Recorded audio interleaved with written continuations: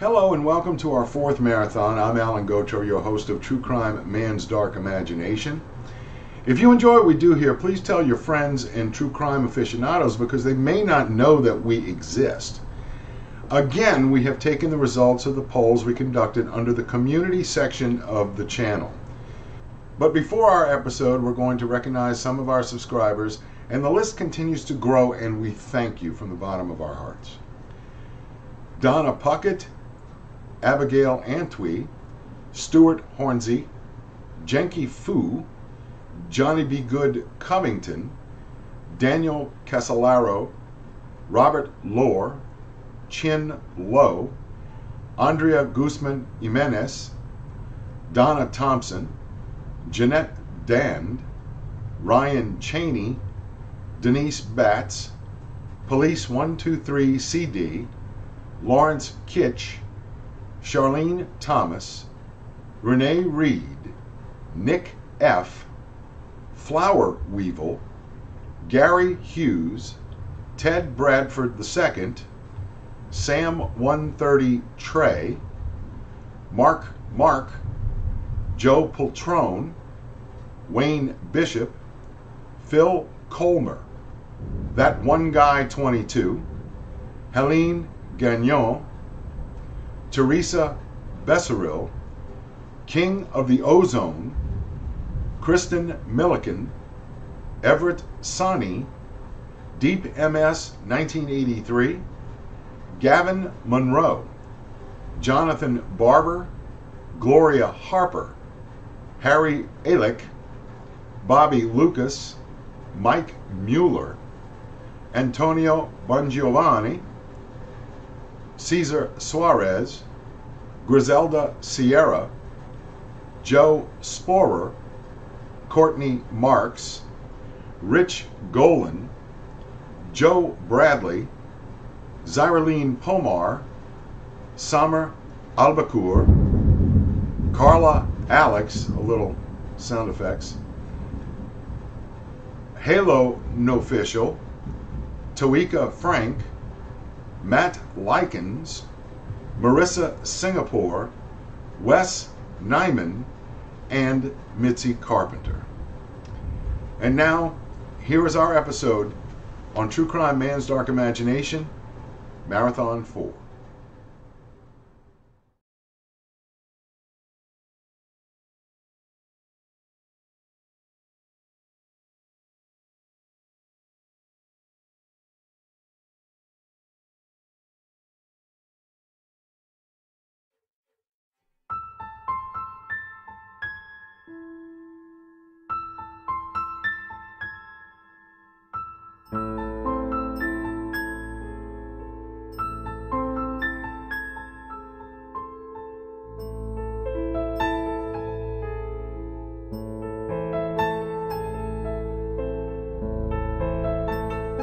May 7, 1896, at the Moyamensing Prison in Philadelphia, Pennsylvania, the condemned man stood on the scaffold, waiting for the executioner to pull the lever, thus ending his life.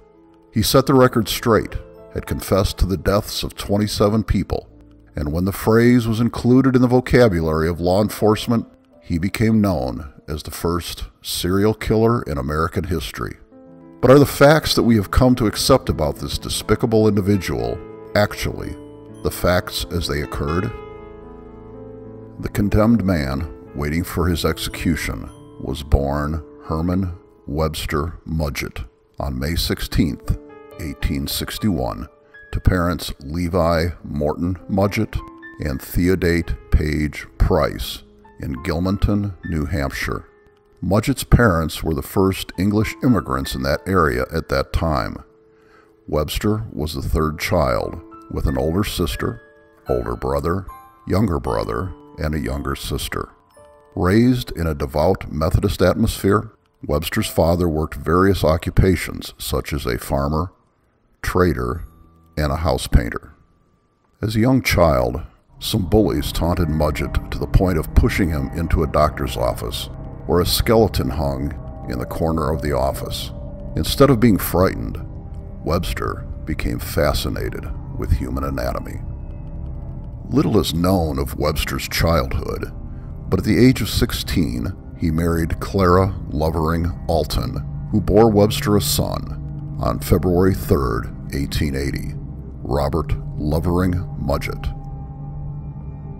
At the age of 18, after leaving the University of Vermont, Webster enrolled at the University of Michigan Medical School and worked in the anatomy lab. History records that at the same time, Webster began to violently beat his wife, causing her to leave him in 1884.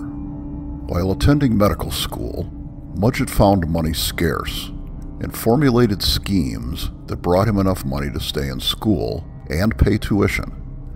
One of these schemes involved selling cadavers from the school's coffers. Webster graduated from the University of Michigan Medical School just barely in 1884 and continued selling cadavers. After leaving the college, Webster stole corpses from the anatomy lab in order to perfect a dishonest practice that Webster made an art form for at the time. He would steal the corpses, disfigure them, then claimed that he had purchased a life insurance policy on the dead body. Thus, he conned the insurance companies out of money for this fraudulent practice, a practice he continued throughout his adult life. Mudgett had a partner for this insurance scam, and in one instance, he claimed to have a body they could pass off as one of the insureds. The partner backed out, and Mudgett was stuck with the corpse. He stored the body in a barrel where he was living, and when the smell became too great, he buried the corpse in his basement. It would have been a hard sell to authorities had the young doctor been caught with a freshly deceased corpse in a barrel in his room. Also, after graduation, Webster moved to Chicago, Illinois, and began working in the pharmacy industry.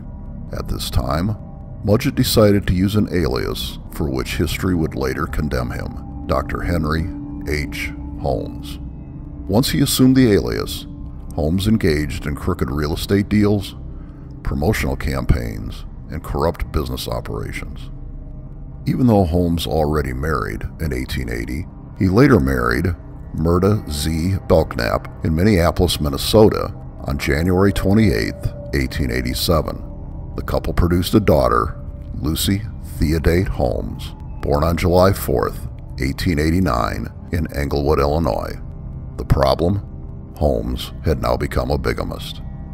It appeared that Holmes ignored the law in everything he did, and the family of three lived in an affluent area of Chicago known as Wilmette. Although Holmes produced children, Holmes would never be known as a, quote, family, end quote, man. He tended to his businesses in the city rather than spending quality time with his young family or any other children he sired in the past. He set up a room at his place of employment and very rarely went to visit his family in the suburbs. Holmes filed for divorce from his first wife after marrying the second one, but the divorce with Clara never materialized. At this time, Holmes married another woman, Georgiana Yoke, on January 9, 1894. At the same time, Holmes carried on a relationship with the wife of a former employee, Ned Connor. Connor's wife, Julia Smith, became Holmes' lover, although he was still married to other women. During one of his many trips into the city of Chicago, Holmes saw a business opportunity through Dr. E. S. Holton's drugstore. Holmes wrangled his way into a job at the business. Dr. Holton happened to be dying from cancer, and his wife took over the store. Holmes managed to convince Mrs. Holton into letting him purchase the store from the Holtons. There was a caveat, however. Holmes had it stipulated in the bill of sale that after the demise of Dr. Holton, Holmes would be allowed to live in the upstairs apartment. After Dr. Holton passed, Holmes took up residence in the upstairs apartment. Although historical records strongly surmise that Holmes murdered Mrs. Holton and then took over the business, we still do not hear anything from Mrs. Holton from the historical record. Holmes informed relatives and friends that Mrs. Holton left unexpectedly to visit relatives in California. Then she decided to live there. No one ever really followed up on whether Mrs. Holton did exactly what Holmes related. Holmes then decided to build the ultimate chamber of horrors and make money from others' deaths. Across the street from the pharmacy stood a plot of land that convinced Holmes to build a hotel, but not just any hotel. Holmes envisioned a three story building, naming it, quote, the castle, end quote. Primarily the rooms in the, quote, hotel, end quote, would be built with either soundproof rooms, rooms sealed with airtight atmospheres, or ones that had a, quote, body chute, end quote, where once persons were murdered, the bodies would be placed in the chute that ended in the basement. Always thinking about making money, Holmes had shops built on the ground floor so that he could collect rents while he murdered aimlessly, possibly collecting life insurance on the deceased, or robbing them of their valuables before murdering them wholesale. Several historians have raised questions as to whether Holmes actually ran the castle as a hotel. Although he may have built the third floor of the castle to function as a hotel, it appeared that this was never actually used as one. Right as the building opened, Holmes' creditors came calling, an almost constant occurrence because Holmes never paid his bills, and repossessed most of the furniture. Even more convincing that Holmes was not the proprietor of a hotel, per se, is that during the course of the World Exposition of 1893, a fire broke out on August 13, 1893, and destroyed the third floor of the castle. The building had to be evacuated. But the press never mentioned whether any, quote, hotel guests, end quote, were taken from the building. Although the evidence suggests that the building was not used as a hotel, this would not have been out of character for Holmes, seeing as he relished in coming to the rescue of females and then murdering them. Holmes' plan seemed to go like clockwork. In trying to find architects and builders to bring his plan to fruition, Holmes hired, then fired, builders and contractors as the construction progressed, keeping the secrets of the main purposes of the construction. In turn, bills went unpaid, and several people sued Holmes for the amounts owed on the work already accomplished. Completion of the, quote, castle, end quote, was just in time for the 1893 Chicago World's Exposition. The plans of the castle were very intricate. The upper two floors had Holmes' office and, quote, a maze of well over 100 windowless rooms with doorways that would open to brick walls, oddly angled hallways, stairways to nowhere, doorways that could not be opened from the outside, and a host of other strange and labyrinthine constructions.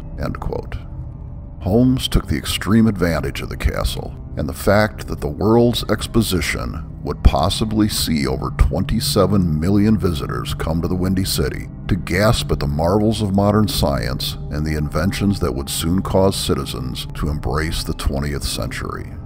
Over the next three years, Holmes had his pick of victims amongst the female employees of the premises during construction from the shops on the bottom floor. One of the conditions of their employment was that Holmes took out a life insurance policy on the employees once they started working for him. Holmes paid the premiums and made himself the beneficiary.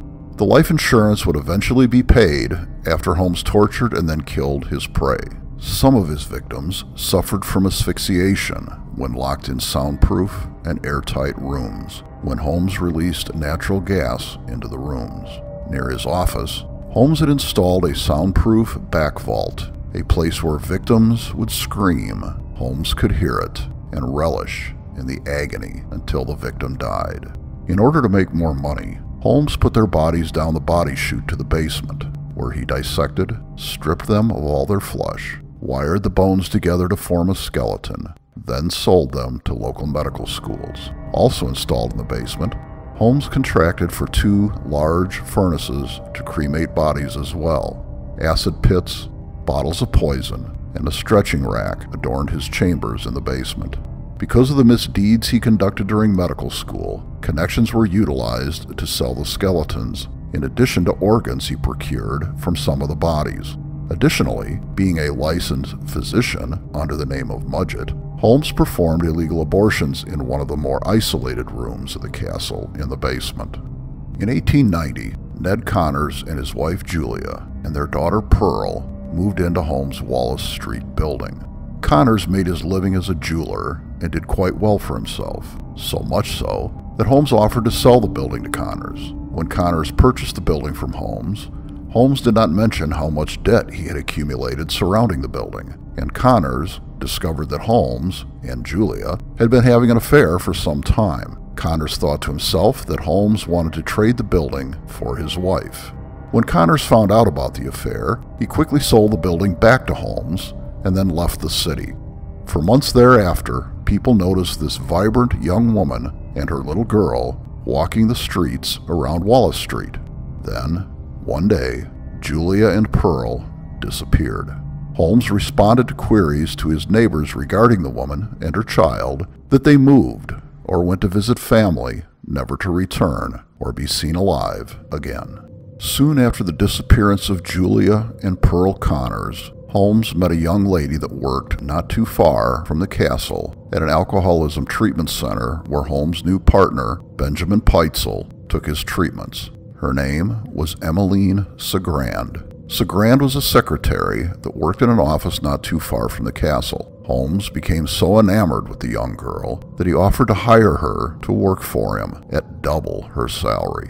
What young lady in that age would not have jumped at an offer like that? It is not readily apparent as to whether Holmes and Cigrand became intimate right away. Several of the people staying or working in the castle, of course, had their suspicions. At approximately Christmas 1892, a Mrs. Lawrence, one of Holmes' tenants, had a conversation with Cigrand just before she disappeared. Cigrand stated to Lawrence that she was thinking about leaving her job and Chicago. Mrs. Lawrence never saw her again. When Mrs. Lawrence confronted Holmes about where Cigrand had gone to, Holmes stated she married her fiance, Robert Phelps, and left the city never to return. Just then, Holmes produced a wedding card that appeared typed, as was not the fashion of the time. Most wedding announcements were handwritten. Mrs. Lawrence felt very uneasy due to the fact that she believed that Cigrand would have told her of such a romance, or even said goodbye before allegedly leaving. Later, Holmes produced a newspaper clipping that announced the wedding of Cigrand and Phelps. No one, at the time, suspected Holmes of any foul play.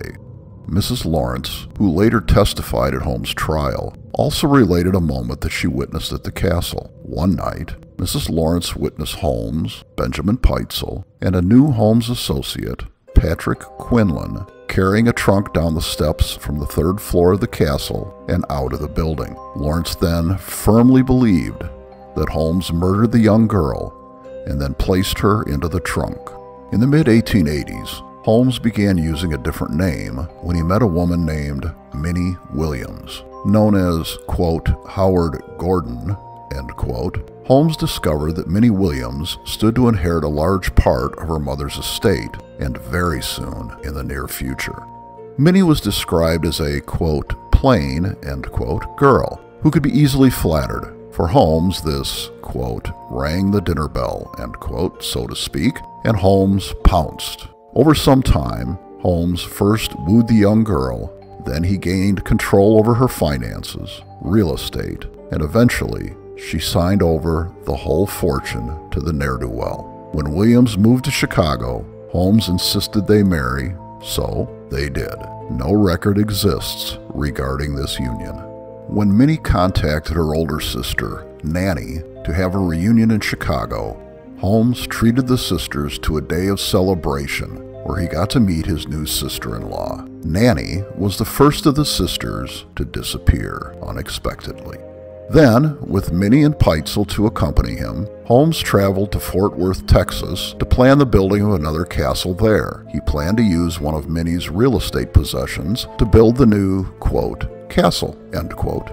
One of the many myths that has circulated down through history is that Holmes was a prolific serial killer with more than 200 victims to his credit. At the time when some of the murders allegedly occurred, witnesses could place Holmes several states away. This, of course, has only been corrected fairly recently. Nevertheless, soon after the initial phase of construction ended in Fort Worth, Holmes left the city. One can surmise that both building projects, the murder castle in Chicago and the one in Fort Worth, served to con banks out of money as Holmes never intended to pay any of it back in the first place. In any case, it appeared as though Minnie never left Texas. Later, when persons would see a female on Holmes' arm, this happened to be Benjamin Pitezel's wife and not Minnie. In all likelihood, Holmes murdered Minnie in Texas and left the body there. Neither Minnie nor Nanny would ever be seen or heard from again. While returning to Chicago, Holmes got arrested in Colorado on fraud charges and spent the remainder of 1893 behind bars. Upon his release in January 1894, Holmes met and married his fourth and final wife, Georgiana Yoke. Again, Holmes changed his name to, quote, Mr. H. M. Howard, end quote, to project some sort of con on Georgiana. He informed his new love interest that his uncle left him vast tracts of land in his will under the condition that he would change his name, thus the quote, Howard, end quote, moniker. In actuality, the land of which Holmes spoke belonged to Minnie Williams. While Holmes, quote, courted, end quote, Georgiana, Ben Pitezel, his wife Carrie, and their children, Desi, Howard, Nellie, Alice, and Wharton, moved to St. Louis, Missouri, perhaps in search of more lucrative schemes. Later, in 1894, Holmes contacted Pitezel, requesting that the family man purchase a life insurance policy so that Holmes could fake his partner's death, replacing him with a medical cadaver. Pitezel then met Holmes, and the two traveled to Philadelphia. Pitezel told his wife of the plan, which was unusual because there is no evidence to suggest that he had ever done so before, even with the wildest of money making schemes. But this time, Holmes planned something diabolical for the man who shared the secrets of his brutal and murderous existence. While Pitezel waited in Philadelphia for Holmes to find a corpse, the boredom and frustration became too much, and he drank until almost passing out. By the time Holmes caught up with Pitezel, the father of five was barely conscious. Holmes actually contributed to Pitezel's inebriation, implying him with more shots of alcohol. When Pitezel lost consciousness, Holmes overdosed his handyman with chloroform. He then tried to make Pitezel's death appear as an accident. First, he used the oil lamp in the room to burn some of Pitezel's hair. Then, he smashed the chloroform bottle on the floor. Holmes blamed an explosion for Pitezel's demise, and the coroner believed his story. In order for Holmes to collect on the life insurance policy that he acquired on Pitezel, he needed a family member to identify the body. Holmes reached out to Carrie Pitezel, Ben's wife, and asked that she journey to Philadelphia and identify the remains of her husband. Carrie Pitezel refused to leave her infant son and instead sent her 15 year old daughter Alice to Holmes on a train. That would be the last time Carrie saw her daughter again. Alice felt uneasy about the trip, although her father, quote, worked, end quote, with Holmes for a long period of time, Alice believed there was something suspicious about the doctor and that the rest of the family, including herself, never really knew Holmes. When Alice arrived in Philadelphia, Holmes picked her up at the train station, and the two immediately proceeded to the morgue. Covered with only a thin sheet, an attendant pulled back the sheet to reveal a charred, rotting corpse. There was no mistake that Benjamin Pitezel lay on that table after Alice identified the corpse by its teeth.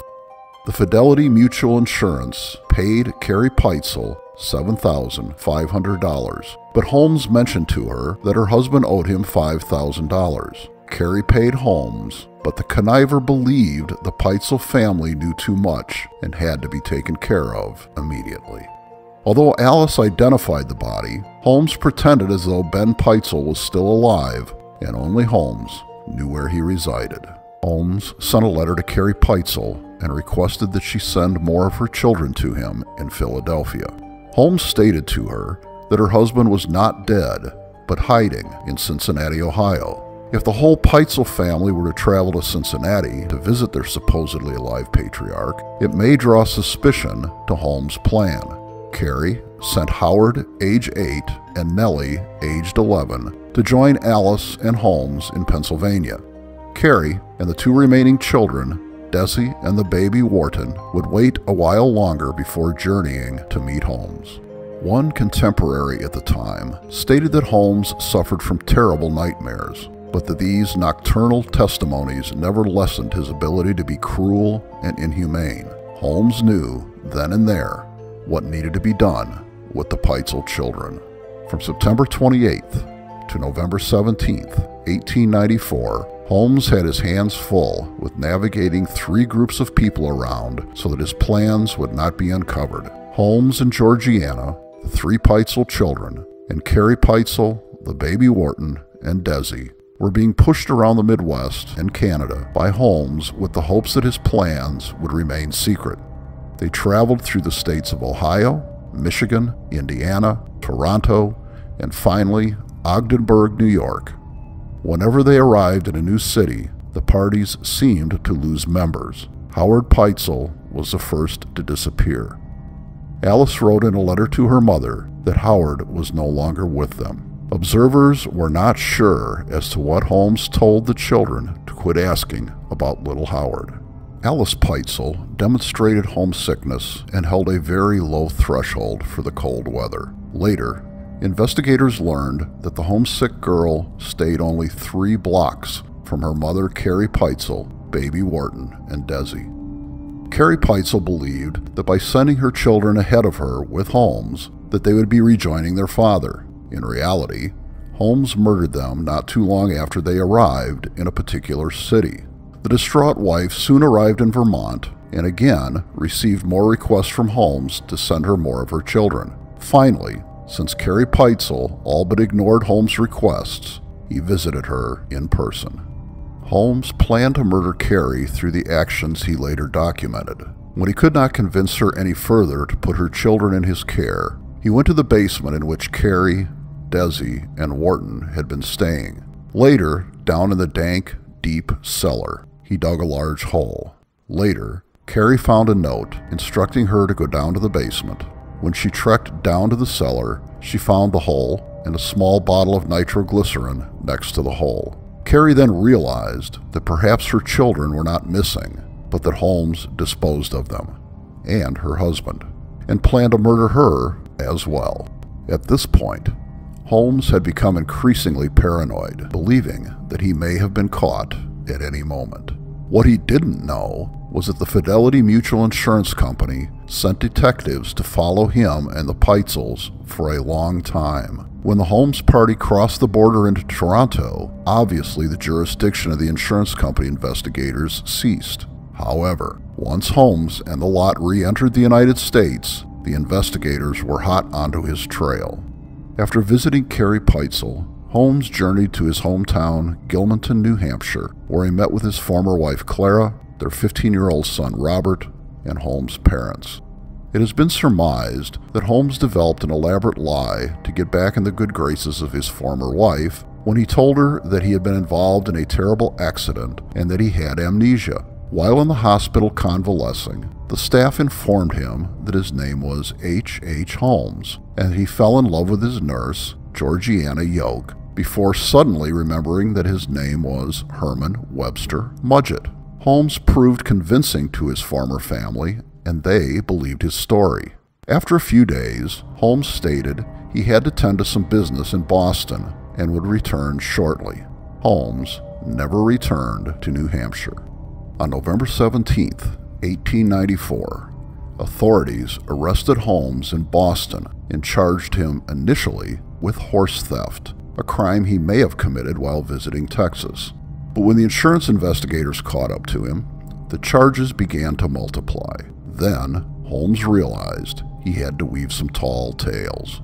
He stated to police that he and Pitezel developed a scheme to defraud the insurance company, but then Pitezel killed himself. In reorganizing his plan, Holmes stated that he had to make it look like an accident because he knew the insurance company would not pay out for a suicide. After all, Holmes pleaded, he was doing it for Pitezel's family and not for himself. Holmes also claimed that the Pitezel children were still alive and with his wife, Minnie Williams, in London. The police also arrested Carrie Pitezel because she had knowledge of the plan to defraud the insurance company.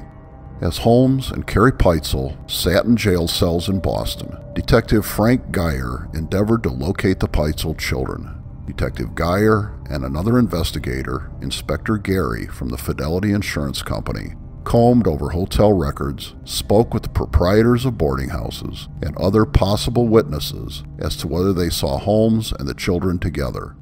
Police in Chicago, alerted that the Boston police held Holmes in their custody, began to search Holmes' Englewood building. When police went into the basement, reporters followed closely behind them and caused an explosion when someone's candle ignited an old fuel tank. Soon thereafter, Chicago police uncovered a vat filled with a strange chemical, later discovered to be gasoline, where they assumed Holmes stripped the human bodies of all their flesh. Furthermore, authorities found a scratched up bench that appeared to have been used as a dissecting table. When police found a length of rope in a toolbox that belonged to Patrick Quinlan, they determined that the rope may have been used to hang dead bodies in the elevator shaft. Quinlan steadfastly denied that the rope was used for that purpose. Police also made a rather grisly discovery when they dug deeper in the basement. Human bones doused with quicklime.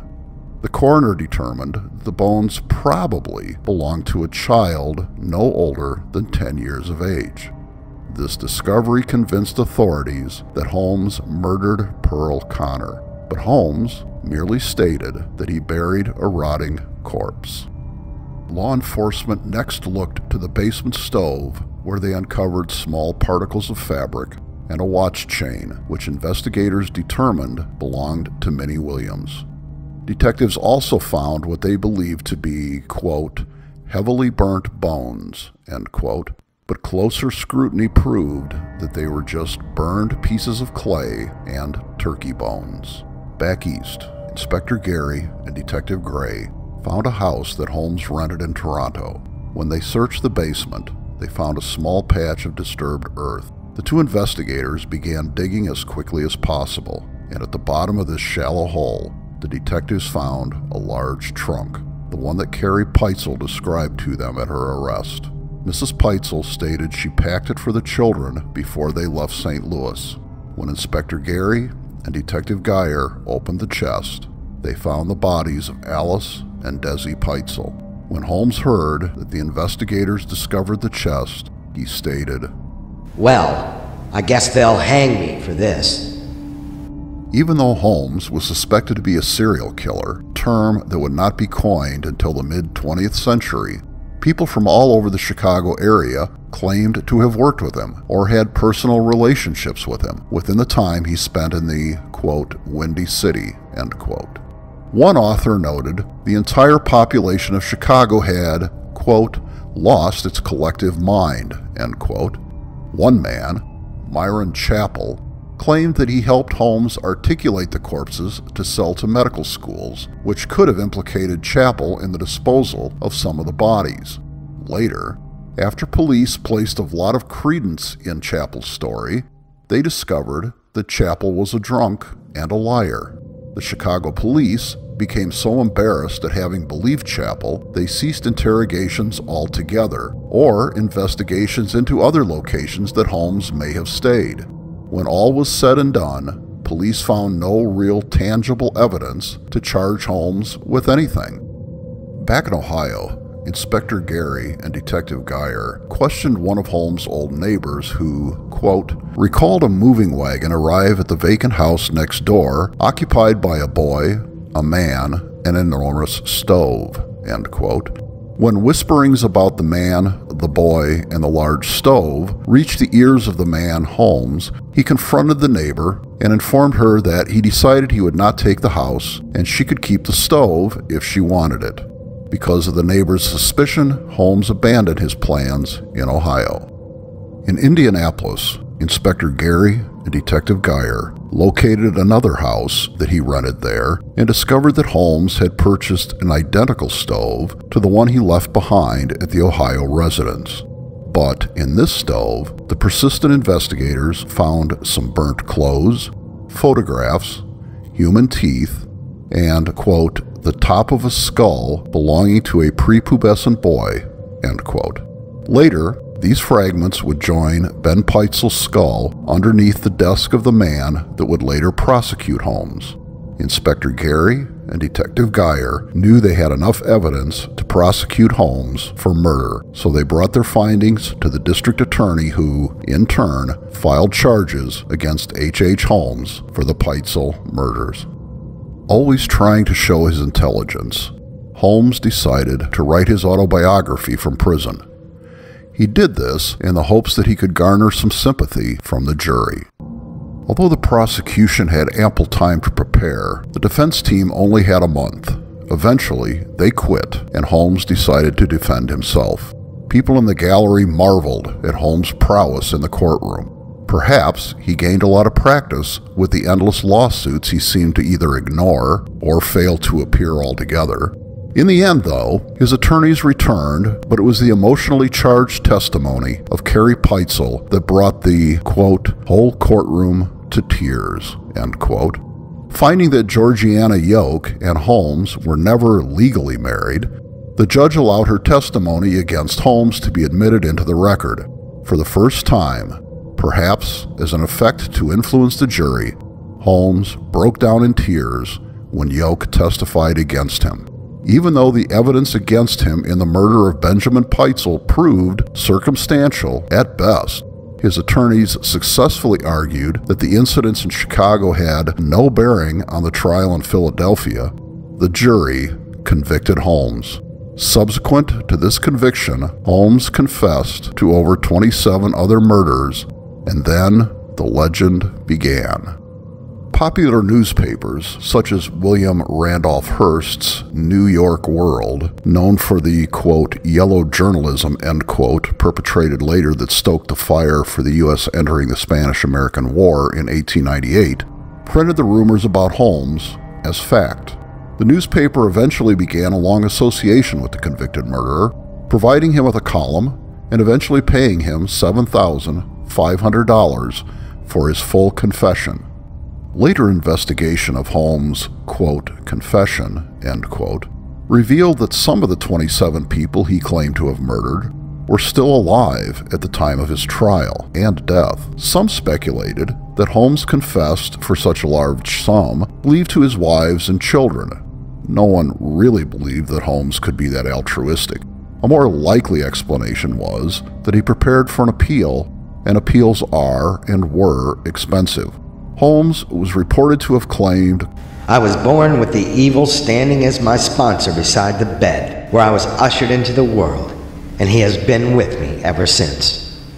But some researchers doubt these as Holmes' factual words. Even though Holmes hoped that an appeal would bring him a new trial, his options quickly ran out. Finally, on May 7, 1896, Holmes was hanged at Moyamensing Prison in Philadelphia. The convicted murderer requested that his body be buried under concrete so that no harm would come to his corpse. Over the next 125 years, the Holmes legend grew to the point where the facts became lost in the resurgence of the gore. Many of the legends surrounding Holmes have since been disproven. For example, the fact that Holmes cheated death proved untrue, as in 2017, Janet Monge of the University of Pennsylvania Museum of Archaeology and Anthropology exhumed Holmes' body to determine if he actually cheated death. Monge concluded, through dental records, that the man buried within Holmes' grave was, in fact, Herman Webster Mudgett, aka H.H. H. Holmes. After Holmes' death, rumors began to circulate that he cursed those that captured and eventually convicted him. Dr. William K. Martin, coroner's physician who had been a major witness against Holmes at the trial, died suddenly from blood poisoning shortly after Holmes' body was buried. Michael Arnold, the trial judge, and lead coroner, Dr. Ashbridge, both contracted deadly illnesses and succumbed a short time later. Howard Perkins, the prison superintendent at Moyamensing, where Holmes spent his final days and who presided over Holmes' execution, committed suicide by shooting himself in the head. Then, the father of one of Holmes' victims was horribly burned in a gas explosion, and the remarkably healthy Frank Geyer suddenly became ill. Detective Geyer subsequently overcame his illness and survived. After those deaths, the office of the claims manager for the insurance company that Holmes had cheated caught fire and burned. Everything in the office was destroyed except for a framed copy of Holmes' arrest warrant and two portraits of the killer. Mrs. Anna Harvey of Chicago, who lived in the murder castle, committed suicide. The fiance of Holmes' lawyer, Samuel P. Rotan, died suddenly. A priest who had prayed with Holmes before his execution was found dead in the church courtyard. The coroner ruled the death as uremic poisoning, but according to reports, his body was found badly beaten and robbed. The jury foreman, Linford L. Biles, was electrocuted in a strange accident involving power lines above his house.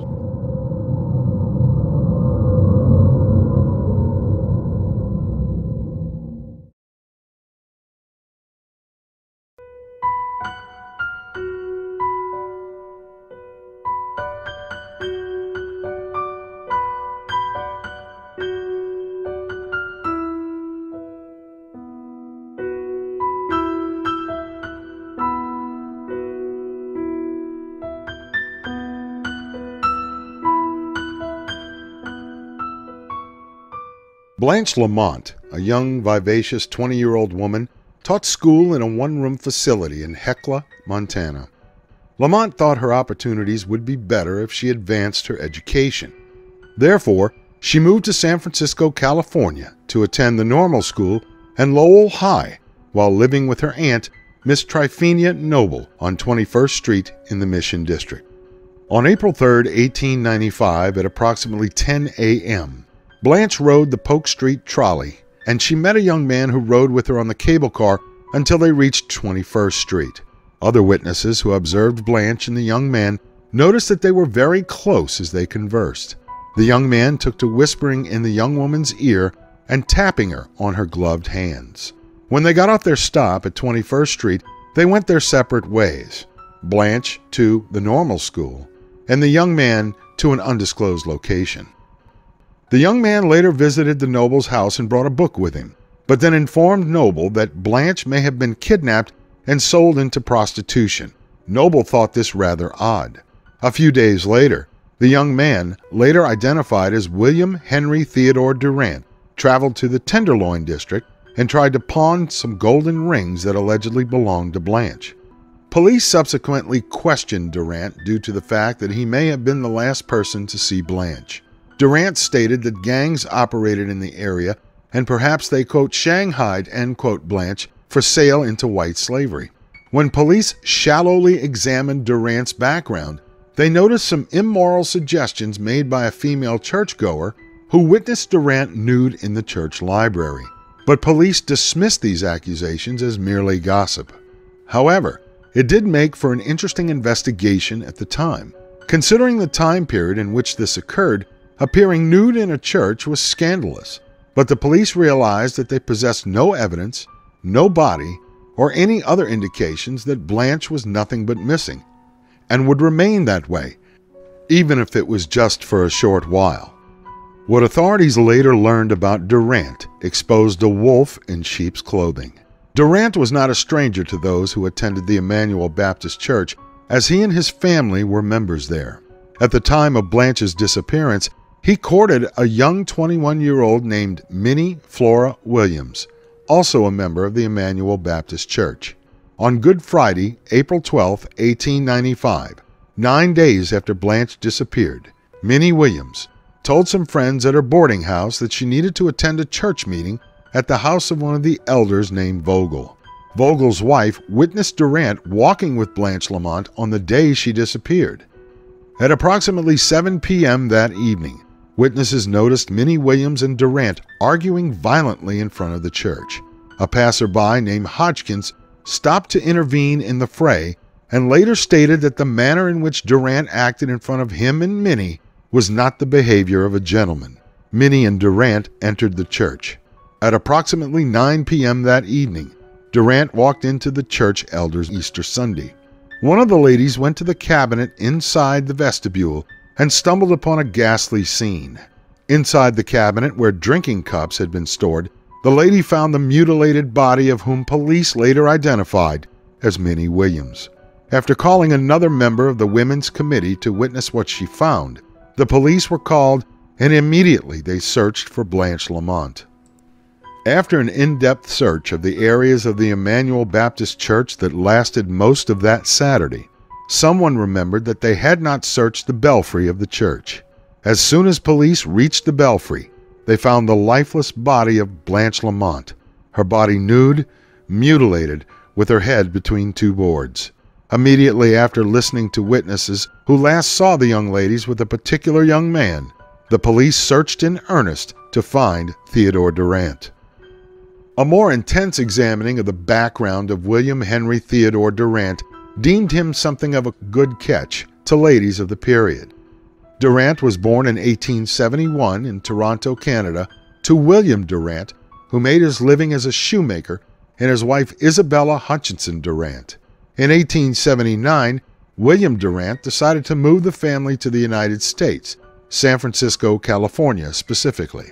Durant had a younger sibling named Beulah Maud Durant, who was born in 1873 and later changed her name to Maud Allan becoming a moderately successful actress in her time.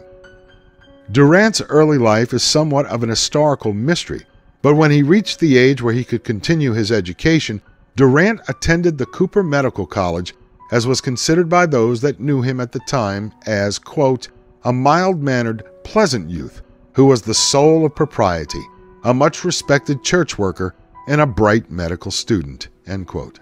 Durant told people that he saw himself as a successful doctor in the future. He was also considered to be a good young man among the members of the Emmanuel Baptist Church.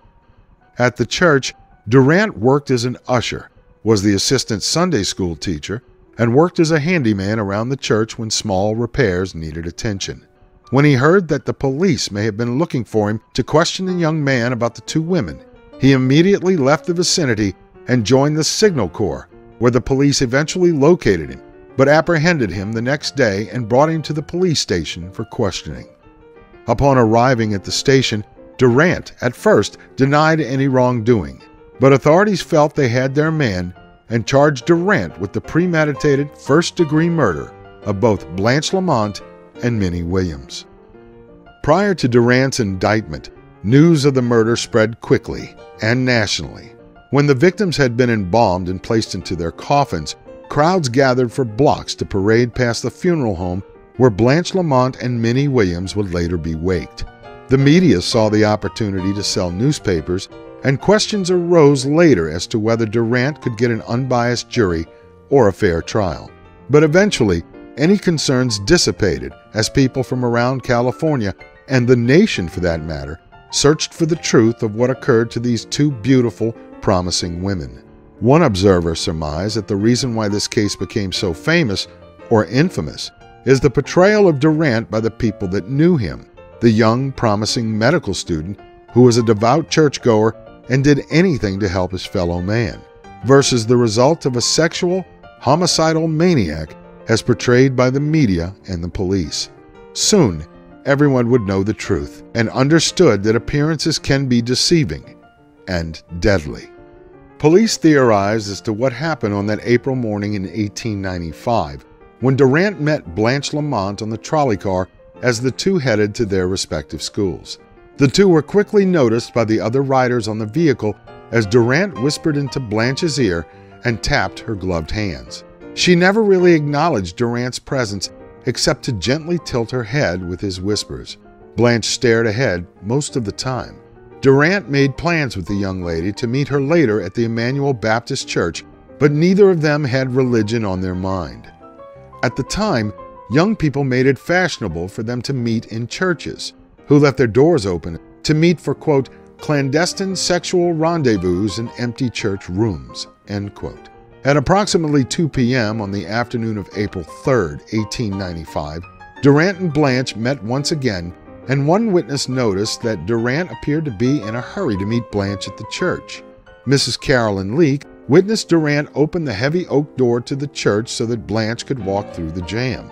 Three hours later, choir director George King made his way to the organ for practice and was startled somewhat when he saw a disheveled Durant approach him. Durant stated he had been fixing some gas jets upstairs in the belfry. King noted that Durant requested the choir director go to the local drugstore and get him some bromo seltzer. King complied, and when he returned to the church, Durant appeared as though some color returned to his face. Then he strolled out of the church into the cool evening air. Investigators further concluded that once Durant and Blanche made their way into the church, the belfry seemed like the perfect place for a rendezvous. The two then went to the belfry, had sexual relations, and then laid on the belfry floor. Authorities also speculated that, from the way the body was discovered, it appeared that the top bodice of her dress had been ripped open by the killer in order to ensure that the knife he used penetrated her flesh. Investigators also suspected that when Blanche Lamont's body was discovered in the belfry, Durant placed her head between two blocks of wood, a technique that Durant would have learned in medical school, then folded her arms over her chest as if he prepared the body for burial. It appeared that Durant may have had sex with Blanche Lamont again after her death. Durant, after completing his grisly work, left the belfry through a seldom used trap door. Durant returned to the church that evening for services and saw Mrs. Tryphenia Noble, Blanche's aunt, and asked her where she may have been. Mrs. Noble stated that she had hoped that Blanche would have made it to the services that evening. Durant mentioned that he brought a book for the young woman to read, but would later drop it off at Mrs. Noble's house. Mrs. Noble ended the conversation by stating that Blanche did not return home from school that day. Her worry intensified over the next few days. Mrs. Noble waited a whole three days before she addressed her concerns with the local police department. Durant immediately fell under the suspicion of authorities as he may have been the last person to see Blanche alive. Police later learned that Durant often bragged about his sexual prowess in the brothels of Carson City, Nevada. In fact, he once bragged to some classmates that he raped an Indian woman. Authorities already dismissed the notion that Blanche Lamont had been kidnapped and sold into white slavery. Police also learned that Durant tried to convince Mrs. Noble of this fallacy but knowing the young girl's reputation, even though she may have met Durant for a sexual rendezvous, Noble hardly thought the suggestion plausible. Additionally, the attempt to sell the gold rings at a pawnshop stuck out as very strange to investigators. In their minds, Durant tried to eliminate evidence of his complicity in the murder of Blanche Lamont. Before the discovery of Blanche Lamont's body, Durant already set his sights on another beautiful young woman, Miss Minnie Williams, 21 years old. On Good Friday, April 12, 1895, at approximately 7 p.m. that evening, Minnie bade her fellow boarders goodbye and left for a meeting with a church elder. A few minutes later, a witness observed Minnie giving a sharp rebuke to Durant in front of the Emmanuel Baptist Church. Later that evening, Durant appeared at the home of Miss Mary Vogel, whose husband was in charge of the church fellowship meeting and one of the witnesses that saw Durant with Blanche Lamont in front of the church. Vogel noticed that Durant appeared shaken and stated that before joining the meeting, he had to wash his hands. By the time the meeting adjourned, Durant exhibited no visible signs of distress as when he first entered the meeting. Before leaving the meeting, however, at approximately midnight, Durant stated loud enough for everyone to hear that he had to return to the church at that late hour because he left something on the morning of Saturday, April 13, 1895. Since Durant became a member of the Signal Corps, he left for a bivouac on Mount Diablo. On that following Easter Sunday, Minnie Williams's body was discovered when the Ladies' Society prepared for the Sunday services. When police arrived and viewed the body, they witnessed that her wrists had been slashed, her breasts stabbed repeatedly, and her undergarments forced down her throat. Blood dripped to the bottom of the cupboard and leaked onto the library floor. Upon examination by an alienist, notes reflected that the cuts on Minnie's arms were so deep that not only had the monster cut her arteries, but the tendons had been severed as well. The stab wounds to her breasts were made with a dull table knife. After the discovery of Minnie's corpse, newspapers goaded the authorities to search the church further for any other clues as to where Blanche Lamont may be, seeing as Durant had a connection with both women. When searching the church again, as they made their way to the belfry, the police noted the smell of decay and flies overpopulating the area. Blanche's body appeared bloated and her face was fearfully distorted, the mouth being open, exposing the pearly teeth and attesting to the terrible death the girl had died. At the end of that day, a San Francisco detective apprehended Durant at Mount Diablo and placed him under arrest. The case of the state of California versus William Henry Theodore Durant began during the first two weeks of October and went into the early part of November 1895. Even though Durant stood to be executed if convicted of the two murders, he still drew the admiration from young women all over the West. A young blonde haired woman even brought Durant a bouquet of flowers every morning. Durant continued to protest his innocence and sat in the courtroom every day listening to the mostly circumstantial evidence against him. But as he sat motionless and cool within the confines of the courthouse, Durant's actions on the days of the murders became quite clear with the testimony presented in the state's case. Defense attorneys stated that Durant did not have any blood on his clothing, but common sense dictated that he must have disposed of the clothing prior to leaving for bivouac. Moreover, defense attorneys sought to shift suspicion away from their client and named Reverend John George Gibson who spent hours in the church by himself as the murderer. The prosecution averred that Durant sustained no blood spatter because at the time of the murders and after sexual intercourse, he was naked and all he had to do was wash to eliminate any bloodstains. After an examination by psychologists, they labeled Durant as, quote, a moral idiot, end quote, but never characterized the accused murderer as being insane. Rather, they portrayed the defendant as being morally defective. It turned out that the jury needed no psychological analysis to determine whether Durant capable of such crimes as the murders of Blanche Lamont and Minnie Williams. Throughout the defense's case, they merely stated that Durant was not responsible for the murder of the two young women and presented no evidence that the defendant may have suffered from a temporary psychosis that forced him to murder them. The prosecution presented more witnesses that Minnie Williams stated she knew more about Blanche's disappearance than she let on. Was Minnie murdered due to her alleged knowledge about Blanche's disappearance? After a lengthy trial that lasted until November of 1895, the jury received their instructions and deliberated for a whole five minutes before returning a verdict of guilty against the defendant, William Henry Theodore Durant and the judge pronounced the death sentence as punishment. Even throughout the appeals process, Durant's attorneys gave excuses for Durant's behavior from the jaunts on the Barbary Coast, the sordid sexual advances, and drunken debauchery that Durant concealed from the church members. On the morning of January 7, 1898, the day of Durant's execution, he refused to confess to a priest because he professed his innocence again, even at the day of his death. In fact, the condemned man blamed the newspapers for his conviction. Led to the gallows at San Quentin Penitentiary, his arms strapped to his side, once the executioner placed a white hood over his head and situated Durant over the trap door, he began a long soliloquy from under the hood, his words slightly muffled, regarding why he should not have been convicted and that he was innocent. He paused for a brief moment when the executioner placed the noose around his neck and tightened the knot. With the order for his execution read one last time, Durant was in mid sentence when the executioner pulled the lever, releasing the trap door. Observers noted that they heard Durant's neck snap and his lifeless body hung there for several minutes.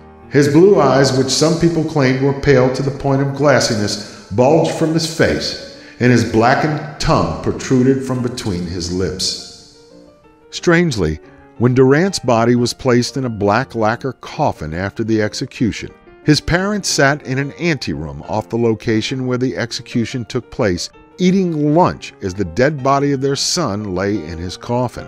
When prison officials withdrew from the room to give some time alone with their son, one of the officials overheard Mrs. Durant say, Please, Papa, give me a little more roast. As a result of Durant's reputation, and the fact that the population of California, and the rest of the country for that matter, reviled the murderer, no cemetery would accept his remains. Durant's parents then took the body, had it cremated, and spread the ashes at an undisclosed location in Los Angeles, California.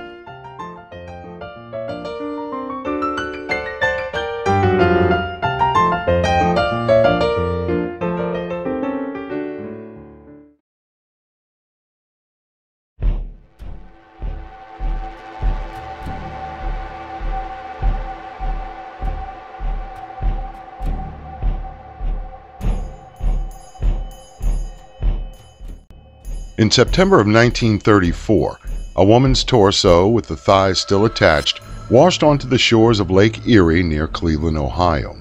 After an analysis of the body, the coroner discovered that the body had been drenched in some sort of chemical that turned, quote, her skin red and textured like leather, end quote. The press then dubbed the corpse as the, quote, Lady of the Lake, end quote. Her head would never be found, and therefore authorities were never able to identify her. On September 23, 1935, in Cleveland, Ohio, teenagers walking through Kingsbury Run found the body of a man stripped nude with just a pair of socks. The body had been washed clean, and the wrists showed signs of rope burns. His body had the testicles removed. Detectives Emil Musil and Orley May arrived on the scene first and found not one headless body, but two. Police identified one of the bodies as being that of Edward Andrassy, a suspected gay prostitute that worked the areas adjacent to Kingsbury Run. The other corpse sustained the same injuries as Andrassy, but this one would go without being identified. At both crime scenes, little blood existed. The bodies appeared to have been washed, but detectives Musil and May found the missing heads of both corpses. The second corpse demonstrated the same signs as the quote, Lady of the Lake, end quote, with reference to the chemical drenching of the body. Authorities believed that both men had been dispatched as a result of being killed with either a large knife or an axe. Both corpses sustained incredible wounds and denigration. One detective, Bernard Wood, learned that Andrassy had been visited by a middle aged man that threatened the former petty criminal to stop seeing his wife or the man would kill Andrassy. For the rest of 1935, the city remained quiet.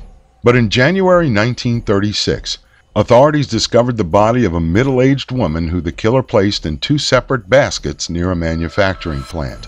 Her body had been disemboweled. Police identified her as middle aged Florence Polillo, a sex worker in the Cleveland area. Detectives Musil and May did an extensive background check on Polillo to flush any leads as to whom may have committed this grotesque act. What they found led to a very sad story indeed. Neighbors and the woman's landlady told that Polillo was a kind, gentle woman, but was prone to drink and fits of aggressiveness whenever the alcohol was plied. Polillo had a very extensive doll collection, which she allowed her landlady's three daughters to play with when she was home. Moreover, Polillo would engage in abusive relationships with men, which sometimes left her on crutches or with swollen lips or black eyes. At one time, Polillo lived a very pleasant life, and when police found her body, they called her ex husband in Buffalo, New York, to come to Cleveland and give a statement to police. It must be noted that Polillo associated with the very dregs of society pimps, whores, tavern owners, and bootleggers. But when questioned, none of them even knew that Polillo had been murdered. Police later found the rest of her body behind a vacant house, and because of the recent cold snap in the city, the cold preserved the parts for analysis. The coroner surmised that because the muscles of her neck had retracted that decapitation was the cause of death. Even with the same signature that allegedly tied the four murders together to one killer, officials were hesitant to state that one killer was responsible for those four deaths. After all, the city prepared for the 1936 Republican Convention, and any negative press about the city found its way to the back pages of the newspapers. The mayor at the time, Harold Burton, promised a program that overhauled the police department, and the organization of systematic raids on organized crime hangouts promised to clean up the city and provide a positive atmosphere for the citizens in the upcoming convention. Eliot Ness, the Treasury agent of Untouchables fame, had been made the Director of Public Safety by Mayor Burton, and the city expected big things from such a famous lawman. On June 5, 1936, delegates began arriving in the city and placed Ness and his officers on high alert. But on that Friday morning, before the commencement of the convention, police discovered another body. This time, the corpse seemed adorned with tattoos, known thereafter as the quote, tattooed man, end quote. The victim had been decapitated, but the police recovered the man's head. They made a death mask of the severed head, but no one stepped forward to identify the latest victim. Coroner Arthur J. Pearce estimated that the man had been dead for two days, yet his head had been separated from his body while the victim was still alive. Police officially labeled the unknown victim as, quote, John Doe number 2, end quote. The victim found at Morgan Run near East 55th Street was estimated to be between 20 and 23 years old, light complexion, reddish brown hair, chestnut colored eyes, and stood between 5 foot 10 or 5 foot 11 feet tall. Slender build, weighed 165 pounds. The victim had several unusual tattoos on his body. One included a bird and band and included the names of, quote, Helen and Paul, end quote, on the inner side of the left forearm. Another tattoo on the outer side of the right forearm was a heart and anchor in red and blue. On the other side was a flag with the initials, quote, WCG, end quote. A butterfly was tattooed on his left shoulder. A head of a comic character, Jiggs, was tattooed on his left leg at the ankle. And, quote, Cupid, end quote, was tattooed on his right leg at the ankle. His underwear bore the laundry mark that identified the person with the initials, quote, JD, end quote. The tattooed man did not appear as the run of the mill hobos in the Kingsbury Run area. His clothing appeared to be newer. He was clean shaven and well nourished. Because of the examination of this victim, Dr. Pearce realized a disturbing pattern emerging with the killings. Decapitation is extremely difficult to accomplish. If someone is killing these unfortunates through decapitation only, the victims either had to be sedated or knew their killer. Just before the beginning of the Republican convention, the powers that be in Cleveland could not restrain the local newspapers from reporting what Clevelanders already knew. Furthermore, the media announced there was a psychopathic maniac on the loose in the city.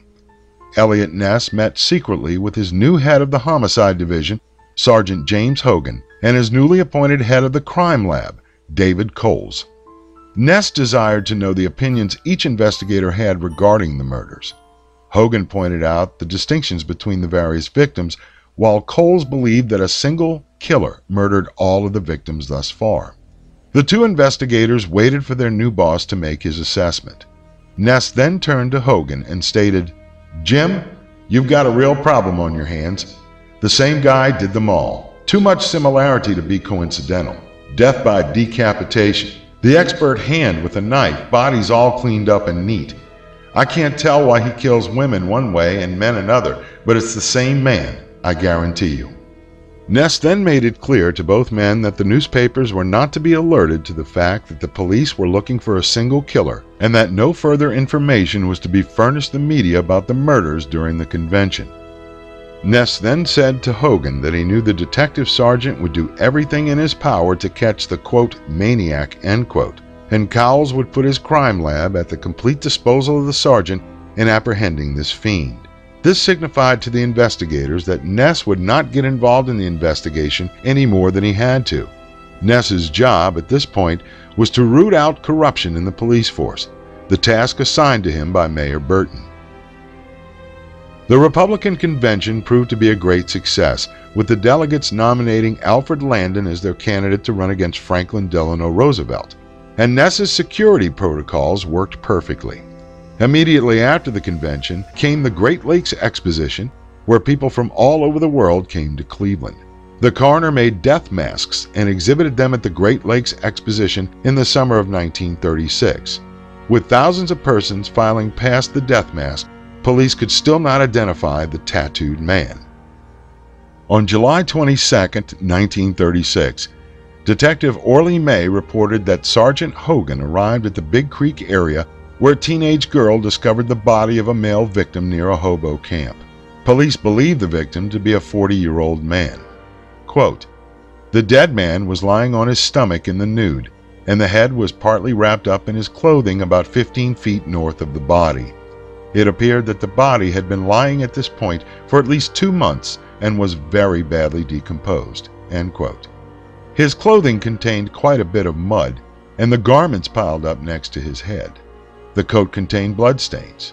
The coroner, Dr. Pearce, exhibited some doubt as to whether this victim had actually been murdered by the same person as the others. Upon his examination, Dr. Pearce noted that the body was in an advanced state of decomposition with the skin missing in certain large areas of the corpse. Because of the decomposition, fingerprinting was impossible. Other than the clothing, no other clues existed as to identify the body. Authorities recovered his head, but this victim still went unidentified. In mid September 1936, the American Legion Convention was set to commence in Cleveland, which would signify a nice ending to the summer following the Republican Convention and the Great Lakes Expo. But still, a grotesque killer was on the loose. On September 10, 1936, a hobo named Jerry Harris sat near the East 37th Street Pier waiting for an eastbound freight train. When he looked into the water, Harris noticed two halves of a human torso floating in the creek.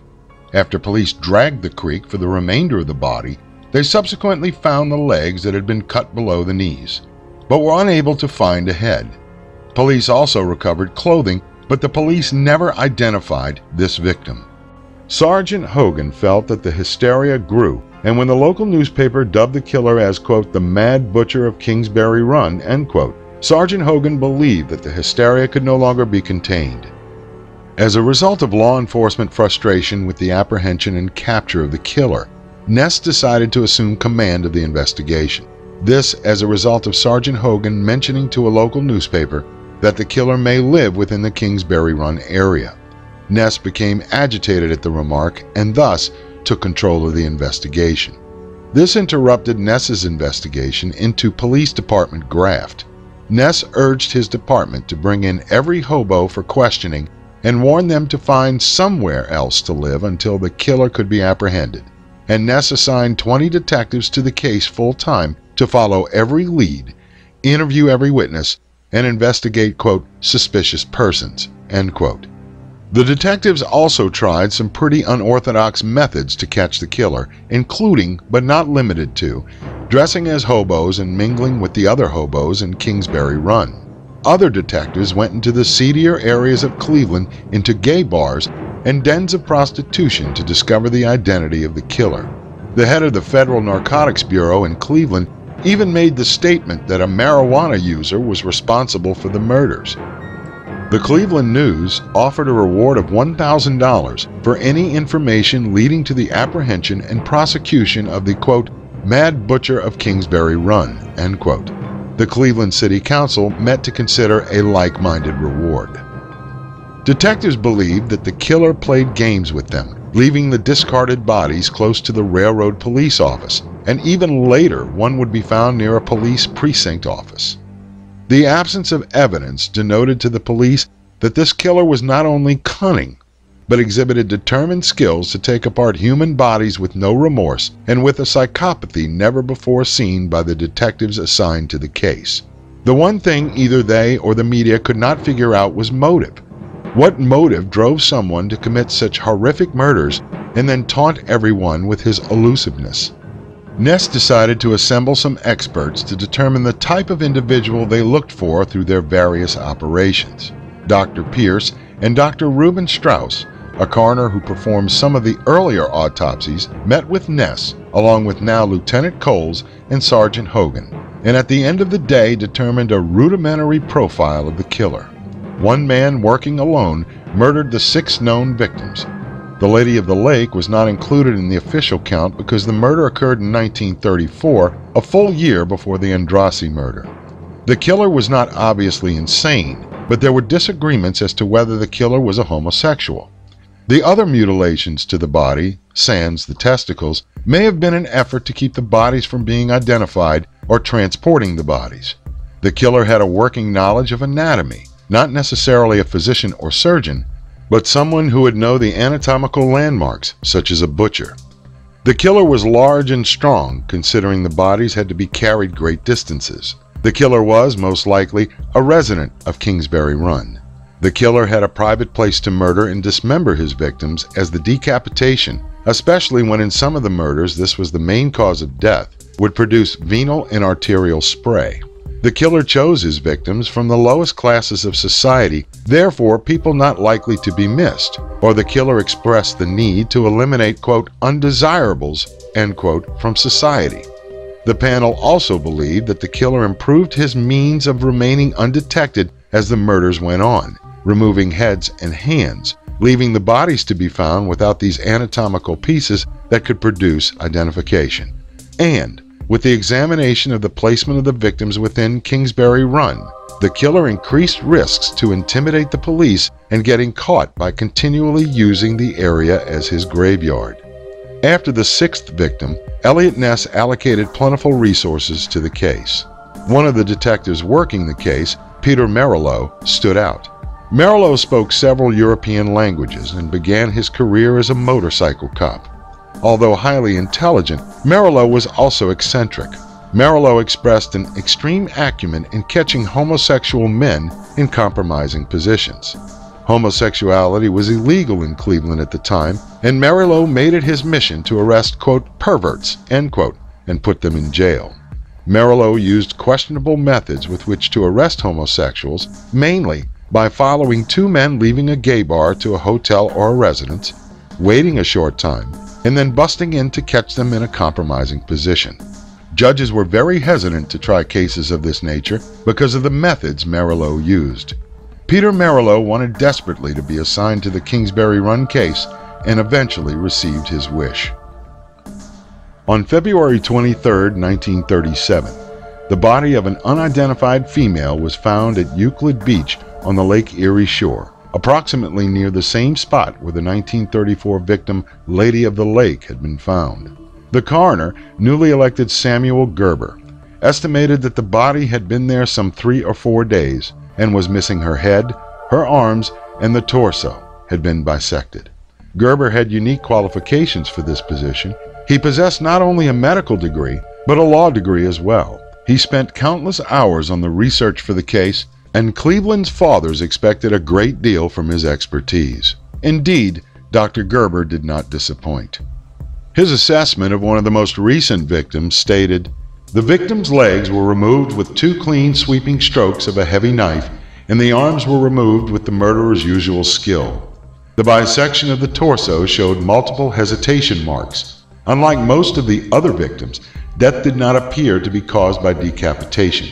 The blood clots in the heart indicated that the decapitation was post mortem. The arms, legs, and clothing were never found. Dr. Gerber also added that he believed the perpetrator of these horrendous crimes to be right handed, using a very heavy, sharp knife, and he had a working knowledge of human anatomy. The new coroner was unable to properly evaluate the sexual undertones associated with the crimes, but the quote, mad butcher, end quote, appeared to be the first sexual psychopath on record at the time to murder members of both sexes. Because of his involvement with the case and the new information gleaned from Dr. Gerber, Ness contacted his sources in the local newspapers and asked them to, quote, tone down, end quote, the sensationalism associated with the murders in Kingsbury Run. The added publicity for the crimes fed into the killer's ego and therefore he would be harder to catch. Furthermore, the more publicity the case got, the more useless leads police would have to chase. Dr. Gerber disagreed with Ness as the coroner had quite the ego himself. Nevertheless, the editors of the local newspapers agreed and held restraint when it came to the publicity surrounding the case. Police dubbed the latest unidentified corpse as, quote, Jane Doe 1, End quote. On June 6, 1937, a teenager named Russell Lauyer found the skeletal remains of a black female within a rotting burlap bag beneath the Lorain Carnegie Bridge, missing her head and a rib. Police later recovered the head, and the coroner estimated the body had been there for a little over a year before its discovery. Police dubbed this discovery, quote, Jane Doe 2, end quote. Police received a letter claiming the victim to be a prostitute named Rose Wallace. Wallace's dental records matched the corpse, and an identification by her son strongly indicated that this body was that of Rose Wallace. The only doubt that may have hinged upon the identification was the assertion that the coroner stated that this body had been dead for a year. Relatives reported Wallace missing only 10 months before. Dr. Gerber and Sergeant Hogan dismissed this identification, but Detective Merylo firmly believed the corpse found by Lauyer to be that of Rose Wallace. On July 6, 1937, the body of a decapitated male was found floating in the Cuyahoga River in the Cleveland Flats. The head was never recovered, and the coroner estimated that the body had been floating there, in addition to the corpse's two thighs. Dr. Gerber estimated the body to have been in the water no less than approximately two or three days. For a short time after the initial discovery, pieces of this corpse floated downriver, except for the head. With this discovery, the coroner noticed that the internal organs had been removed, but searchers never retrieved them. Police dubbed this victim John Doe 5. Upon more intense examination of the previous victims in comparison to the most recent ones, authorities concentrated on doctors, medical students, nurses, and even butchers. Police soon focused on one doctor in particular, Dr. Frank E. Sweeney. Authorities learned that Dr. Sweeney grew up near the Kingsbury Run area. He had a problem with alcohol that caused him to lose a wife and some visitation with his children, and he lost his license to practice surgery at a nearby hospital. Sweeney also matched the physical profile of what the killer may look like. He was tall, large, and strong. Although this was not well publicized, police believed Sweeney to be bisexual and possessed a very violent temper when he drank alcohol. Later, in 1937, police abandoned Sweeney as a suspect due to his frequent trips out of town, but his name resurfaced throughout the history of the case with any mention of the butcher of Kingsbury Run. Lieutenant Cowles ran across a person of interest that renewed his interest in Dr. Sweeney as a suspect. Lieutenant Cowles learned that the Veterans Hospital where Dr. Sweeney worked shared their services with a prison honor farm. On that honor farm, and at the Veterans Hospital for that matter, a convicted burglar named Alex Archaki was serving out the rest of his sentence in the prison honor farm and began a symbiotic relationship with Dr. Sweeney. Dr. Sweeney, it was reported, often made trips to the prison farm where Archaki would provide Sweeney with alcohol. In exchange, Dr. Sweeney would write prescriptions for barbiturates. Although interesting that Dr. Sweeney openly broke the law through his vocation, Archaki gave Lieutenant Cowles something far more interesting. Archaki stated he first became acquainted with Dr. Sweeney after meeting the physician in a local bar in Cleveland. Dr. Sweeney bought the young man a few drinks and then began asking him some personal questions. Where was Archaki from? Did he have any family in the city? Was Archaki married? Archaki thought nothing of it at the time, but later he believed Dr. Sweeney was interviewing him to become a victim. Archaki also informed Lieutenant Cowles that Dr. Sweeney appeared absent several times from the hospital. These absences coincided with the quote, estimated times of death for several victims, end quote. Archaki averred his positivity with Lieutenant Cowles about the dates that Dr. Sweeney never appeared at the hospital. Lieutenant Cowles researched Dr. Sweeney's background more thoroughly after acquiring the information from Archaki. The detective learned that Sweeney was born in East Cleveland, just on the outskirts of Kingsbury Run, in 1894. Francis Edward Sweeney grew up in a poor family, losing his mother at nine years of age. His father received some bad injuries and could not find work. Despite the circumstances he and his siblings faced, Sweeney made a determined effort to make a success of himself. He worked several full time jobs while attending college. After college, he attended pharmacy school and then medical school, where he proved to be such a popular student that his classmates elected him vice president of their class. After graduating medical school, Sweeney became a surgical resident at St. Alexis Hospital. His siblings remembered that he was very engrossed with his studies and the knowledge he acquired from treating people at the hospital. But he was never too busy when one of his siblings got sick. He left the hospital to attend to them immediately. The pressures of the job began to take its toll, and Sweeney took to drink in order to cope. He was admitted to the hospital for alcoholism on a number of occasions. Since graduating from medical school, Sweeney married in 1927. and when he succumbed to drink, he became violent toward coworkers and abusive towards his wife, forcing his marriage to collapse and his career to disappear before his eyes. He stayed in a period of perpetual drunkenness until finally, in 1934, he and his wife of seven years separated. Cowles learned that Sweeney suffered several injuries during World War I, including a head injury in which he received a pension. But several of his other psychoses ran in the bloodline, including mental illness. With this new profile, Lieutenant Cowles thought certain that Dr. Sweeney functioned in an alter ego as the quote, mad butcher of Kingsbury Run. In March of 1938, a dog found a man's severed leg in Sandusky, Ohio, approximately 65 miles from Cleveland. Lieutenant Cowles traveled to the area in all haste to see whether a connection existed between this body part and the torso killer in Cleveland. Subsequently, it turned out that this body part had been removed through a medical procedure and may have been misplaced, but no connection existed to the torso killer. On April 8, 1939, a human leg had been found in the Cuyahoga River near Cleveland Flats. A conflict developed between Ness and coroner Dr. Gerber when Ness accused the coroner of desiring a larger national reputation, with Dr. Gerber hungering for publicity in the decapitation cases.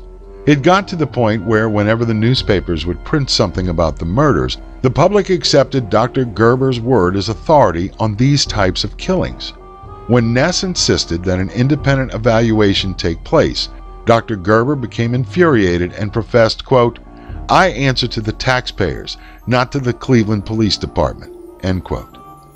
On May 8th, a woman's thigh was found near the same location in the river east of the West 4th Street Bridge. Police conducted a search later under the bridge and discovered a burlap sack containing the victim's headless torso cut in half another thigh, and another foot. The head and arms were never found. On August 16, 1938, another decapitated female corpse was found near the East 9th Street Lakeshore dump. The coroner determined that the body had been dead for the last four to six months.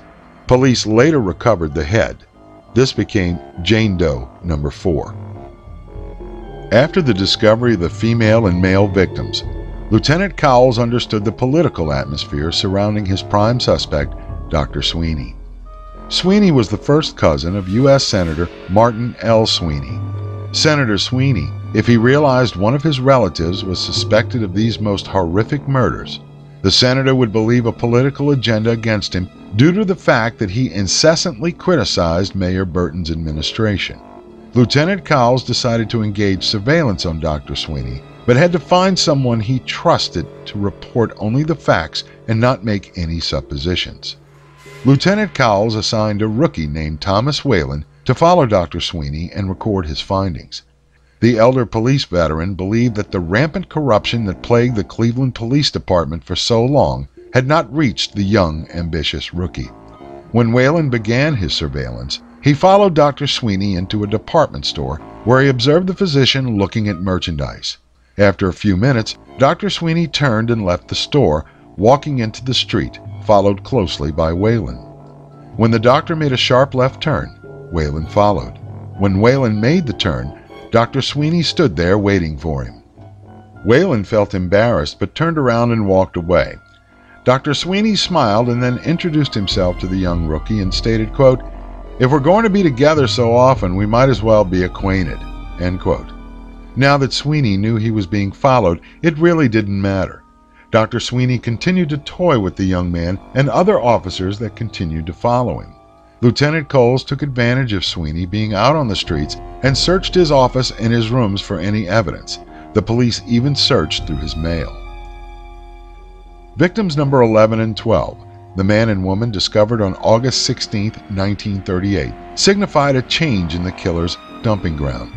He never used the most recent one before, and authorities hoped that the Mad Butcher would, somehow, make a mistake and be caught. But Ness and Cowles doubted that the two most recent victims were actually murdered. It was then that the public and the politicians began to criticize Ness for his inability to catch the killer. In an effort to become more proactive, Ness led a raid on the so-called, quote, shanty towns, end quote, in Kingsbury Run. Disoriented hobos were chased down by the police, arrested, taken to the police station, and fingerprinted. Police also searched for the Mad Butcher, but found only worldly possessions of the unfortunates. In a desperate attempt to deny the killer of a hideout, Ness ordered the shanty town be burned to the ground. Newspapers criticized Ness for his aggressive tactics, but the burning of the hobo home showed the desperation of the investigation. Ness, feeling the pressure, decided to notify Lieutenant Cowles to bring in their only suspect, Dr. Sweeney, for a secret interrogation. Lieutenant Cowles gave Dr. Sweeney a choice. Either come in for the secret interrogation, or he would bring the physician down to the station, notifying the press of his arrest, and bring further embarrassment to his family. Dr. Sweeney chose the lesser of two evils. After sobering for three days, Eliot Ness, Lieutenant Cowles, court psychiatrist Dr. Royal Grossman, and the inventor of the polygraph machine, Dr. Leonard Keeler, appeared at the hotel. For the next two hours, on August 23, 1938, Lieutenant Cowles and Dr. Grossman conducted the interrogation of Dr. Sweeney. Sweeney played with the interrogators, and Ness knew it. Then, Ness escorted the confident doctor into the adjoining bedroom where Dr. Keeler had prepared his polygraph machine to test Dr. Sweeney. After several innocuous questions about whether he was Dr. Frank Sweeney and whether he knew Edward Andrassy, Dr. Keeler asked more specific questions. After approximately an hour, Keeler asked Dr. Sweeney to stay in the room with the machine while he met with Lieutenant Cowles and Dr. Grossman. Dr. Keeler confidently stated to the two men, quote, Looks like he's your guy, end quote. Ness agreed with Dr. Keeler's assessment and then turned to Dr. Grossman and asked, quote, What do you think? End quote. Grossman answered, quote, I believe we have a classic psychopath here with the likelihood of some schizophrenia. His father spent the last three years of his life locked up, a violent schizoid personality aggravated by chronic alcoholism. End quote. Ness then went into the bedroom where Dr. Keeler interrogated Dr. Sweeney. Sweeney turned to Ness and asked, quote, Well, are you satisfied now? End quote. Ness replied, quote, Yes, I think you're the killer. End quote. Dr. Sweeney then approached Ness very slowly, leaned into his face, and stated very intimidatingly, quote, Then prove it. End quote. Ness admitted years later that he never felt more terrified than when he was left alone in the suite with this quote madman end quote. Lieutenant Cowles, Dr. Keeler, and Dr. Grossman left the suite to get some coffee. Ness soon tracked down the trio and ordered Lieutenant Cowles back to the suite immediately. Dr. Keeler subsequently tested Dr. Sweeney several more times that day with the same result. But Ness knew that the case could be highly politically charged with Sweeney's relations, should they get involved, and only circumstantial evidence existed that pointed toward Dr. Sweeney as the mad butcher of Kingsbury Run. After the secret interrogation, Dr. Sweeney checked himself into various hospitals to receive treatment for his alcohol addiction. The physician stayed in hospitals from 1938. Although Dr. Sweeney was confined to these various institutions, he still roamed the neighborhoods surrounding their grounds and wrote prescriptions for he and his friends until authorities notified local pharmacies cutting off his supply. Dr. Sweeney died in 1965.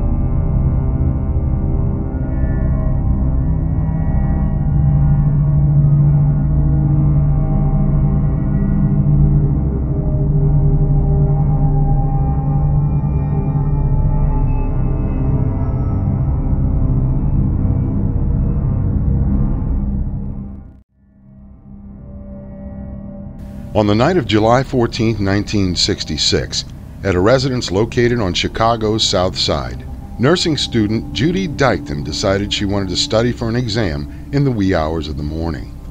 Dykton thought she should better do some laundry before getting her studying done. When she arose from her bed, Dykton turned off the fan she had been running for days due to the extremely hot Chicago weather that summer.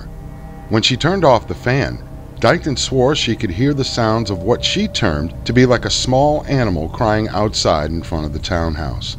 At that time, Dykton merely ignored the whimpering and went about doing her laundry.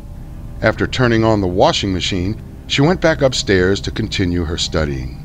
Sitting at a small desk, Dykton heard the crying once more, but at that time she said it sounded like a small child crying. When Dykton pulled the shades of her room open, she saw a woman across the street at 2319 East 100th Street suspended on a ledge. The woman, a very small and what appeared to be Asian lady, kept repeating, quote, Oh my God, they're all dead, end quote. When Dykton witnessed this, she grabbed something with which to cover herself and ran across the street to investigate. When Dykton reached the residence across the street, she approached the young woman who had been crying, Corazon Amurao, who had been crouched upon a window ledge.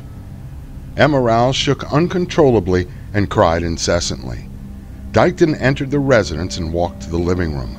She first discovered a nursing student, Gloria Davy, nude and lying on the couch with her hands tied behind her back, with a strip of cloth in her mouth so tightly jammed that, quote, a roll of skin puffed over the cloth around her neck, end quote. Davy was dead, and her skin took on a bluish tint. Dykton immediately ran to the residence of the house mother, a Mrs. Bisoni, and yelled, quote, There's trouble in 19, end quote. Mrs. Bisoni awoke some of the other students and together they made their way down to 2319. When the house mother and the other nursing students made it to the residence, Amurao managed to jump from the 10 foot ledge to the ground and stood on the front stairs, quote, frozen between the horror in the house and the outside world. End quote. Amurao then screamed, quote, Everyone on the sampan has been killed. End quote. She stated this over and over again. When Basson and another nursing student Leona Bonzak entered the living room. Bonzak touched Gloria Davy on the leg and said, quote, Davy, end quote, hoping that the nursing student was only unconscious and not dead. But Davy didn't move. She had already expired. Bonzak left the living room and slowly walked up the stairs to the second floor. When she peered into the bathroom near the landing of the stairs, she found another body. She called out, quote, Matusek, end quote. She received no answer. Then Bonzak crept into the other bedrooms upstairs. In both of the bedrooms, Bonzak found the rest of the nursing students who stayed there. The room was covered with blood, and the nursing students appeared brutalized. When she approached one of the other students, Nina Schmale, she removed the pillow that covered her face. Schmale laid on her back with her hands tied, her legs spread apart for all exposure, an apparent knife wound to her chest and a cloth wrapped very tightly around her neck. Bonzak walked back down the stairs very slowly and met Rizzoni. Bonzak informed Rizzoni not to climb the stairs. They were all dead and nothing could be done. Rizzoni walked over to the telephone and called the South Chicago Hospital and stated that all of her, quote, girls, end quote, had been murdered. When the hospital asked her which ones needed help, she said she couldn't talk and just very reservedly stated, quote, I need help. End quote. Outside of the residence, several of the nursing students who accompanied Rizzoni to the crime scene flagged down Officer Daniel Kelly, a mere rookie on the force with 18 months under his belt. Officer Kelly immediately radioed to his precinct and told them that he needed some backup. When Officer Kelly entered the residence, he realized that he knew one of the deceased nurses, Gloria Davy. In the past, Officer Kelly dated Davy's sister. Obviously distraught, he brandished his service revolver and headed up the stairs. When he exited the residence again, he radioed back to the precinct Help! Help! Help! Oh my god, I dated her sister. Oh my god, I've never seen anything like this. Oh, give me the sergeant. Give me the lieutenant. My god. This outpouring of shock was heard by a radio police reporter, Joe Cummings, as he drove around the city's south side to find something newsworthy. Cummings then said to himself that this was big. During his journey to the crime scene, Cummings heard Officer Kelly, who kept saying, Oh my God, they're all dead, over and over again. After listening to the pleading from Officer Kelly's sergeant as to where the officer called from, Officer Kelly finally gave the address 2319 East 100th Street. When Cummings finally arrived at the scene, he grabbed his tape recorder and walked off toward Officer Kelly. Bonzak, Dykton, and Rizzoni tried to calm Amurao down inside a nearby residence located at 2315 East 100th Street. Cummings noticed that Officer Kelly appeared to be walking in circles with his duty hat on backwards and his shirt slightly untucked in the front. Cummings approached the officer and stated that he was a reporter and he was entering the scene and promised that he would not touch anything while in there. Quote, It's a homicide, end quote, Kelly told Cummings before he walked into 2319. Cummings went in and noticed the dead body of Davy on the couch. Cummings then walked back outside to ask Officer Kelly about just one body. Just then, Officer Kelly then said, quote, Go upstairs, end quote. Cummings went up to the second floor, looked down the hallway, and turned right. The sun just started to peek over the horizon as morning began, but the whole floor appeared dark. Cummings walked down the hallway and noticed to his right dead bodies of the nursing students. In another room that Cummings investigated, he found three more dead bodies, brutally abused. Oh my God, he whispered to himself. Cummings then turned to walk back down the stairs and past the bathroom where he discovered another body. The reporter noticed a handprint on the bathroom door. Cummings observed fingerprints and that a screen was missing from a window. He said to himself, quote, what the hell's this? Eight dead women. End quote. As he walked down the stairs, the reporter's stomach began to churn and he felt nauseous. Cummings looked into the living room one more time where Davy's body lay, and when he reached the front entrance, he could hold his sickness no more and vomited in the front yard. As soon as he emptied himself, Cummings again walked up to Officer Kelly and noticed a high pitched alarm like noise. Officer Kelly informed the reporter that that was the sole survivor. Seeing a chance at getting ahead of the other reporters, Cummings walked over to 2315 and saw a crack in the door. When he looked in, he observed a doctor injecting Amurao in an attempt to calm the young woman down. Cummings got on his radio and spoke to someone at his radio station that there had just been a mass murder on the south side of Chicago. After calling in some of the details, Cummings went into the crime scene and to the second floor again. He didn't know why, but he did. As he took some further steps into the second floor hallway, Cummings heard a squish with every step. When he looked down at his shoes, he noticed the blood had leaked into the hallway where he walked. Cummings rushed down the stairs and vomited once more. The reporter stated later that in all the years of his reporting, he never saw a crime scene so brutal. A few minutes later, Homicide Commander Frank Flanagan pulled Cummings off to the side and stated to him that he should mention that the victims' throats had been cut. Commander Flanagan stated that every lunatic in the city would confess or take credit for these killings and, quote, leave the particulars out. Only the killer will know what happened to those girls, end quote. Detective Jack Wallenda arrived on the scene. Described as a big burly man, even he displayed dismay and horror at the crime scene. When Detective Wallenda first examined the body of Gloria Davy, he noticed that her hands had been tied with, quote, double knots, end quote. Knots that looked like a professional tied them, made from bed sheets. The investigator also noticed that he saw what he thought to be semen between her buttocks. Buttons from Davy's blouse were found all over the stairs. Detective Wallenda theorized that the killer must have torn the buttons from Davy's shirt on the way to bring her down the stairs. The investigator also found a man's t-shirt, size 38 to 40, tossed on the floor. Detective Wallenda next went up the stairs to one of the bedrooms and discovered the body of Pamela Wilkening. She was gagged and stabbed near her heart. Lying near her was the body of Suzanne Farris, lying face down in a pool of blood with a white nurse's stocking around her neck. Farris had 18 stab wounds to her chest and neck. Suzanne's close friend, Mary Ann Jordan lay on her back with three large stab wounds in her chest, one in her neck and one in the eye.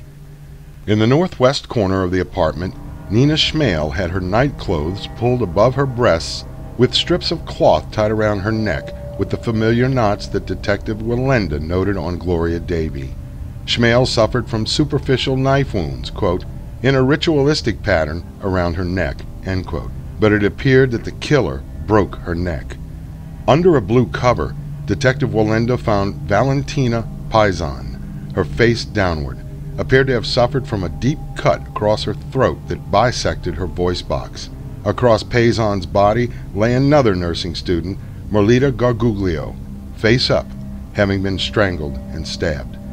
When Detective Wallenda entered the door through the hallway and to his right, he found the body of Patricia Matusek in the bathroom, lying on her back with her nightgown rolled up to her chest and her panties down. She had been strangled to death. The investigator also noted that it appeared the murderer kicked Matusek in the stomach as she sustained a very large bruise in the abdomen area. Bloody towels covered the floor of the bathroom where Matusek lay. Detective Wallenda later remarked that this was the worst crime scene he ever investigated in his long career. The director of nursing was called, and she could only identify three of the victims. Once the coroner called for transport of the bodies to the morgue, patrol wagons showed up for the journey as the coroner only had one hearse.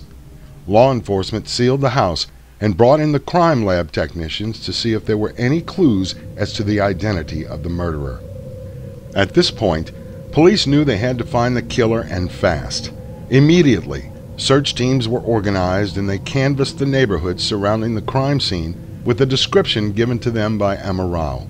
She described the man she saw as six feet tall, blond hair, approximately 160 pounds, and he had a southern drawl when he spoke. Detective Edward Wielosinski questioned some people at a local gas station that functioned as a hangout for some pretty questionable characters. Detective Wielosinski discovered that the owner of the gas station heard of a young man who may match that description who left his bags at the gas station two days before and was visibly agitated that he missed a ship and lost out on a job. The detective then investigated the clue with another, quote, sweep, end quote, team in questioning people at the Merchant Marine Union Hall on 100th Street. The investigators learned that the agent who gave the assignments to the Union Hall had never heard, nor did he know anyone who matched the description of the killer. Investigators then went back to the gas station and convinced the manager to call the owner of the station, Dick Polo. Awakened from a deep sleep, Polo acknowledged that a young man matching the killer's description came to the station and mentioned that he missed a ship and a job on that ship. The man Polo referenced had a deep southern drawl. Polo recommended a boarding house to the disappointed man. Flophouses and bars were thoroughly canvassed. Then the investigators decided to go back to the Merchant Marine Union Hall to speak with the booking agent once again. Putting pressure on the nervous man, he paused any conversation he carried with the investigators, went to his trash basket, and pulled out an assignment sheet. On that piece of paper, the agent read aloud the name of Richard B. Speck. The agent remembered the man because of his heavy southern drawl that, at the time, the agent barely understood what he was saying. Detective Wielosinski found Speck's file at the Union Hall and he matched the description perfectly, but he had no criminal record locally. The search for Speck began in earnest, and it seemed that the police kept missing him from wherever he went. On the morning of July 14th, the day of the murders, Speck walked into a dive bar known as Pete's Tap at approximately 10:30 a.m., well rested, showered, and looking neat. Bar patrons noticed that Speck carried a large knife attached to his belt that he gave to the bartender to hold. A month before, Speck pawned a jeweled watch which the bartender, Ray Crawford, purchased soon thereafter. Speck had some money in his pocket and bought the watch back from Crawford. During Speck's visit to the bar, he managed to sneak behind it, grab the knife, and then put the bartender in a chokehold, placing the knife to the man's throat. It was then that Speck stated that is how he would kill someone. Then he released Crawford, who didn't think the action proved funny at all. When Speck sat back at the bar, he weaved tremendous falsities about how he killed people in Vietnam. William Kirkland, another barfly, purchased the knife from Speck, who claimed it belonged to a veteran. but in actuality, Speck's brother in law, Gene Thornton, gave him the knife. Speck now had a drinking partner for the night, and he and Kirkland went across the street to another dive known as the Soco Grad. The two men continued their drinking at the bar, and Speck learned that he left a survivor at the scene. He turned to Kirkland when he learned the news and stated, It must have been some dirty that done it. Speck told another tale of how he hit his brother in law over the head with a bottle, causing his sister to throw him out of the house. The wanted man then claimed that his sister gave him $85, and so he left the residence. The rest of the night included Speck and an old drinking buddy, Robert R. Red Gerald, another Southern boy. The two drank until Gerald became too ill and finally decided he needed to get some sleep. Speck brought Gerald to the room that the former rented at the Shipyard Inn. Speck left his buddy there while he continued his binge. While Speck went to the bar located downstairs at the boarding house, Detective Wielosinski suggested strongly to the booking agent at the Union Hall to call Speck at his last known telephone number and tell him that he had a job for him. As luck would have it, when the agent telephoned the Shipyard Inn, Speck answered the call. The agent informed Speck that he needed to report to the Union Hall immediately to gather his assignment on a ship called the Sinclair Great Lakes. Speck felt something suspicious as he knew that the Sinclair had sailed from Chicago a few days before, and he told the agent that he was up north and it would take him some time to get to the Union Hall. Speck never materialized. The suspected murderer awoke his friend and brought his bags downstairs, calling for a cab. Gerald sat on the curb, holding his head as he still felt the effects of the drinking marathon. Leaving his comrade on the curb, the accused killer played pool by himself inside the shipyard inn until the cab arrived. Just then, three detectives walked into the bar and began asking questions of the patrons while Speck listened, never indicating that he was the man they were looking for. When the cabbie arrived at the bar, he walked in and shouted, quote, commercial, end quote. Speck swigged down his drink and left the premises by the side door. Gerald and Speck entered the cab, and Speck instructed the cabbie to head north toward his sister's house. The cabbie became suspicious when Speck could not give the address of his sister's house, claiming it was in some seedy part of Chicago. The cabbie drove to a place known as Cabrini Green, a slum. One of the residents of the area that witnessed Speck exiting the taxi stated that she could not understand a white man with suitcases wanting to come to this area of town. Speck then walked to the Raleigh Inn, another Fleabag hotel, and coerced his way into letting the manager, Ota Hollinger, to rent him a room under the alias of, quote, John Staten, end quote. Once a hotel of grandeur, the Raleigh in the 1960s had devolved into a single room flophouse, the perfect place for a ne'er do well such as Speck to get lost. One of the clerks working there remembered a man matching Speck's description coming to the hotel with a black prostitute. The clerk also remembered that the prostitute called the man she was with, quote, Richard, end quote. Later, with the transaction completed, the young black girl came down and informed the clerk that John Staten had a gun. On the following morning, the clerk, Algie Lemhart, called the police and asked them to come and sort it out. Two police officers arrived at approximately 8:30 that morning, and when Speck awoke, groggy of course from the drinking he'd done the night before, two police officers stood over the hungover Speck and questioned him for a little over 15 minutes. In hindsight, it appeared that not all police precincts were aware that a mass murderer was at large, in addition to not knowing the physical description of the suspect. The officers checked his identification and passport with the recent brush with the detectives at the Shipyard Inn and the two police officers at the Raleigh. Speck considered himself very lucky up to this point. The officers confiscated the weapon and never reported it to their watch commander. As they left the hotel, they informed the clerk that Speck was, quote, harmless, end quote. Later that evening, Speck hit the dive bars in the area, finally arriving at the Pink Twist Inn, where he drank more and lulled himself into another of many drunken stupors. Even though the trails of communication were slow, the Chicago Police Department wanted to make sure whom they were dealing with. They asked for assistance from the Federal Bureau of Investigation with the fingerprints acquired at the crime scene. Investigators then tracked the suspect from the Shipyard Inn through the commercial cab company and when they interviewed the cab driver, they learned that Speck was dropped off in Cabrini Green. Sergeant Mike Clancy, one of the members of the task force hunting Speck, reached Speck's sister and retraced his steps from the time he left Dallas some time ago. Then the police picked up Red Gerald, who gave the investigators a very specific itinerary of Speck's movements. At this point, police issued a stop order for the Union Hall if Speck were to show up there. In his further attempt to evade the dragnet that closed in around him, Speck walked out of the Raleigh Inn stating that he was going to do his laundry. The manager and the clerk never saw Speck again. The suspect then met with two winos who convinced him to stay at the Star Hotel, another flophouse. One of the winos, a guy named One Eye, told Speck that he would show him how to jump freight trains and travel the country. But One Eye grew tired of Speck and tried to ditch him. Speck at this time seemed desperate to get away from the city. One Eye stated that he wanted to stay in the city to make some more money as a day laborer. Speck then abandoned the idea to hop freights and then went to sell some of his possessions. On the morning of July 17, 1966, Commander Flanagan learned that the fingerprint they retrieved from the crime scene matched Speck's fingerprints. When police officers learned this fact, some of them cried, but others took on more of a sense of urgency to locate this killer. With this evidence in hand, the State Attorney General's office issued a warrant for Richard Speck's arrest.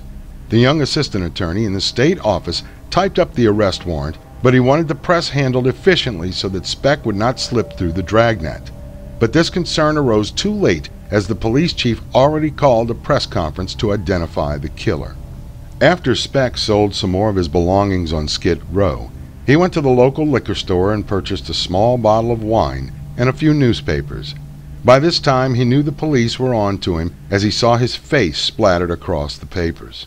Speck rushed back to his rented room at the Star Hotel, drank the wine, and in a drunken rage broke the wine bottle and attempted to slash his wrists and his inner elbow with the broken glass.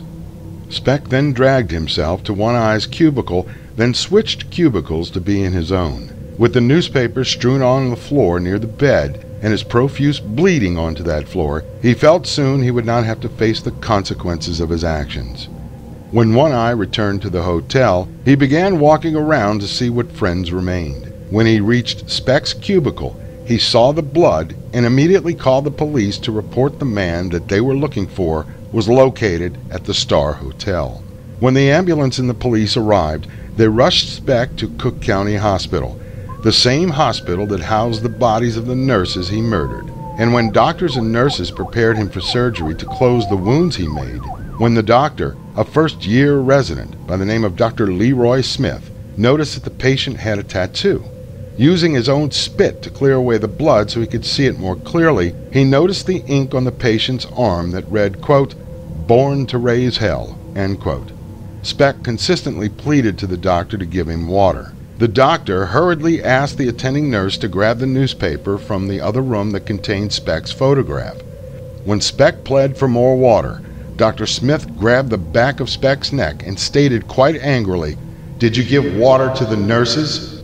Dr. Smith then released his grip from behind Speck's head and summoned a police officer down the hall to inform him that the man he will soon be operating on to save his life is the same man police searched for within the last three days. The policeman then called his commanding officer and let them know that Richard Speck was lying on a gurney awaiting surgery to repair the arteries he cut through. Once authorities learned that Richard Speck was a medical captive at the hospital, they pushed their way through the halls to make sure he did not escape justice. Richard Speck was born in Monmouth, Illinois on December 6, 1941, the seventh of eight children to Benjamin Franklin Speck and Mary Margaret Carbaugh Speck. Speck and his younger sister, Carolyn, were much younger than their other siblings. Speck's father made a living to support his huge family as a packer for the Western Stoneware Company and had previously worked as a farmer and logger. Benjamin Speck died of a heart attack when Richard was six years old. Speck's mother then remarried to a man who was the exact opposite of his father. Speck's stepfather, Carl August Randolph Lindberg, spent most of his adult life in correctional institutions and maintained a high level of alcoholism. He often beat young Speck and abused him verbally as well. Speck did poorly in school and needed glasses, but refused to wear them. Because of his disinterest in school, Speck dropped out at the age of 16. This is when his worst problem came to the surface and got worse.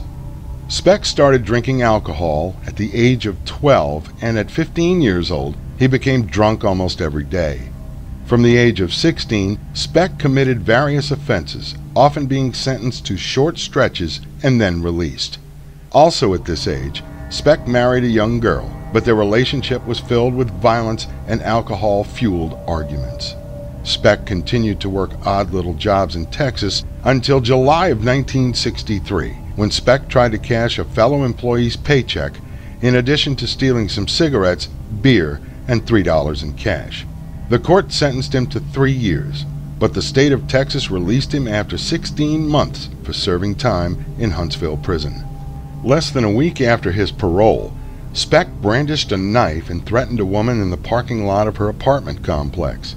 Again, the court for this case gave him 16 months in prison, but due to a typographical error, Speck saw freedom after six months. Speck continued his career, committing petty crimes until one day in 1966, his sister Carolyn drove him to the Greyhound station and put him on a bus headed for Chicago. Speck stayed a few days with his sister, Martha Thornton, and then went to the place of his birth, Monmouth, Illinois. There he stayed with his brother's family and got a job as a carpenter's helper. Again, a job he held for a short period of time. When Speck learned that the woman he married at 16 remarried two days after their divorce, he moved from his brother's house and into one of the local hotels. Speck drank heavily and very rarely remained sober. On April 3, 1966, Mrs. Virgil Harris, 65, returned to her home after babysitting at 1 a.m. when she confronted a burglar a man about six feet tall, and spoke with a thick southern drawl. He tied her up, raped her, and then stole the money she earned from babysitting that evening, $2.50. On or about April 10th, a bartender named Mary Kay Pierce left the tavern at 12:25 a.m. on April 9th. Her brother-in-law, Frank, reported her missing on April 13th. Police found Pierce's body in an empty log house behind the tavern, having died from, quote, a blow to her abdomen that ruptured her liver, end quote.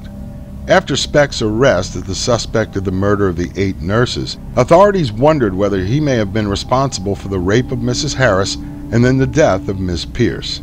Police questioned Speck considerably regarding both Harris's assault and Pierce's murder. When the police searched his room, they discovered some costume jewelry that Mrs. Harris reported missing. Investigators also knew that Speck frequented the bar where Pierce worked. In April 1966, Speck returned to his sister's apartment on the northwest side of Chicago where she lived with her husband, Gene Thornton, and their two teenage daughters. Thornton knew that Speck could not hold down a job, and being a veteran of the U.S. Navy, strongly suggested to Speck that he join the Merchant Marine Service. After providing fingerprints, being photographed and cleared from a physician, Speck found work immediately, but suffered an appendicitis and had to be brought back to shore in order to recuperate. After recovering from the surgery, Speck joined the crew of the ship where he got drunk and had an altercation with one of the officers on board. His brother in law then suggested that Speck apply to the local merchant marine hall for a seaman's card so he would find other jobs on other ships. From May to July 1966, Speck found difficulty in holding down a job. On July 8th, Thornton took his brother in law to the Seamen's Hall to pick up his card and register for a berth on a ship. Speck discovered that he lost out to a seaman with more seniority on a ship headed for South Vietnam. On the 11th, Speck again took a ride from Thornton to the hall to await a berth. This time, he overstayed his welcome at his sister's and looked for lodging elsewhere. The same thing happened on the following day. He registered for a berth only to see it go to someone else. On this date, Speck dropped off his bags at the Manor Shell filling station and then slept the night in an unfinished house. On July 13th, after Speck picked up his bags and registered at the Seamen's Hall, he then sat in his brother in law's car with his sister and they spoke for the next 30 minutes. Incidentally, Thornton parked the car across the street from where the student nurses lived. Later that afternoon and early evening, with the remainder of the $25 his sister Martha lent to him earlier in the day, Speck visited various taverns in the area and met a woman named Ella Mae Hooper, whom Speck raped later that evening and stole her 22 caliber Rome revolver, a cheap Saturday night special. After eating at Kay's Pilot House, Speck returned to the Shipyard Inn and drank until approximately 10:20, dressed all in black and armed with a pocket knife, a hunting knife, and the 22 caliber revolver. From there, he walked the mile and a half west to the nurse's townhouse at 2319 East 100th Street. At approximately 11 p.m., Speck broke into the nurse's townhouse, which served as a dormitory for nursing students, predominantly some exchange students from the Philippines. Once Speck entered the residence, and for hours Speck methodically rounded up the nursing students and brought them into one room, raping them and then stabbing them to death. Investigators who put together the series of events for that evening believe that Gloria Davy was his last victim. Corazon Amurao managed to escape the carnage by shimmying under a bed while Speck was outside of the main room with another one of the victims.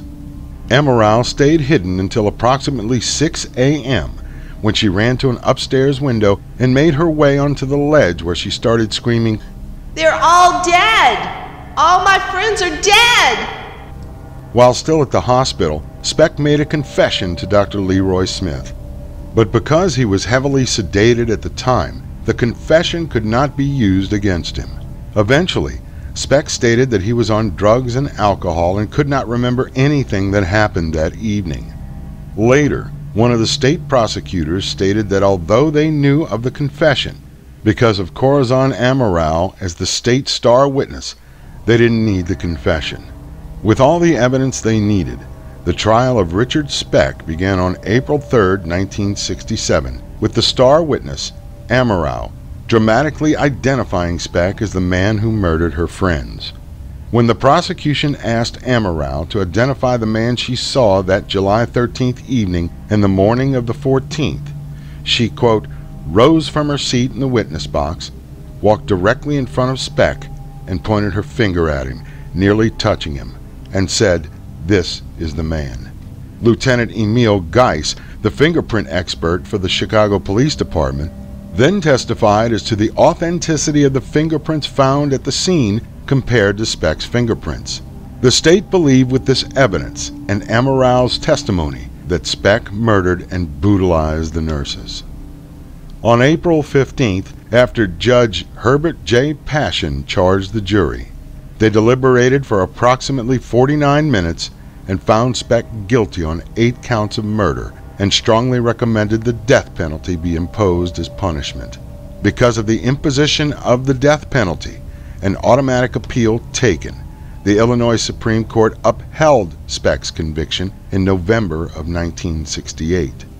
On June 28, 1971, the United States Supreme Court upheld Speck's conviction but overturned the death sentence. On June 29, 1972, the U.S. Supreme Court declared the death penalty unconstitutional, so the Illinois Supreme Court's only option was to resentence Speck to life imprisonment. On November 21, 1972, Judge Richard Fitzgerald resentenced Speck to 400 to 1200 years in prison, eight consecutive sentences of 50 to 100 years. When he appeared before the parole hearing in 1976, the board denied Speck's request in seven minutes. The pardon board then denied Speck parole six more times after that. Speck began his incarceration at the Stateville Correctional Center in Crest Hill, Illinois. He gained a reputation as the quote, Birdman, end quote, after he kept a pair of sparrows that flew into his cell. But the warden often described him as a quote, big nothing doing time, end quote. Speck never gained a reputation as a model prisoner either, often being caught with drugs or moonshine alcohol. Speck scoffed at the punishment when he stated, quote, How am I going to get in any trouble? I'm here for 1200 years. End quote. In the only interview he gave to Bob Greene in 1978 for the Chicago Tribune, he finally confessed to the murders. Speck stated that one of his biggest pleasures in prison was getting high. The convicted murderer stated that he did not expect to be in prison past the year 2000, where, after his release, he planned to run a grocery store. In his final quote to the newspaper, Speck stated that he had a message for the American people. Just tell them to keep up their hatred for me. I know it keeps up morale, and I don't know what I would do without it.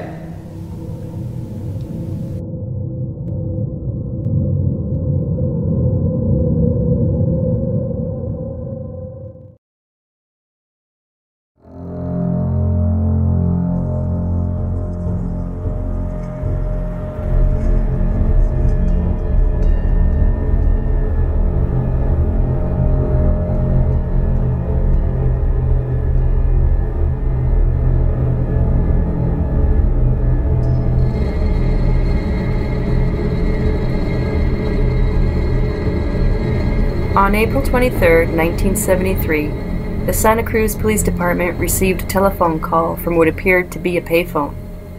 The man, a 24 year old, spoke on the telephone from Pueblo, Colorado, and confessed that he had just committed a double homicide four days earlier. The young man on the phone related that he killed his mother, Clarnell Strandberg, on Good Friday. Subsequent to murdering his mother, the young man went out and drank with some cop friends and when he returned to his mother's residence, he invited her friend Sarah Sally Hallett over for dinner and a movie. When Hallett arrived at the residence, he murdered her too. The caller admitted that he removed Hallett's head and stuffed the bodies in closets located at his mother's residence on Ord Drive.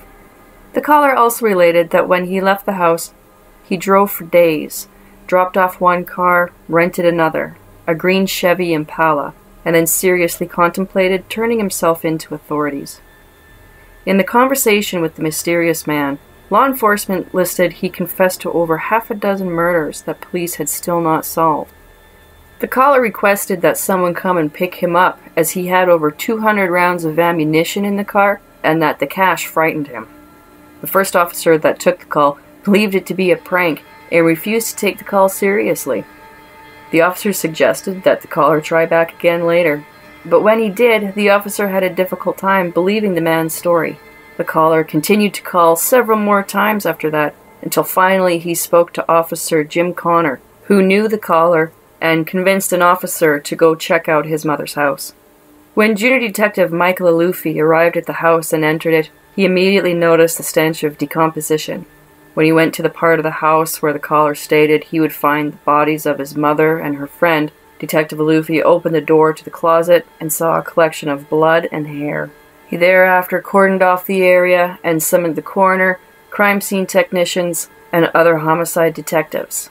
The detectives and the coroner found the bodies of the two women exactly as the caller described over the telephone.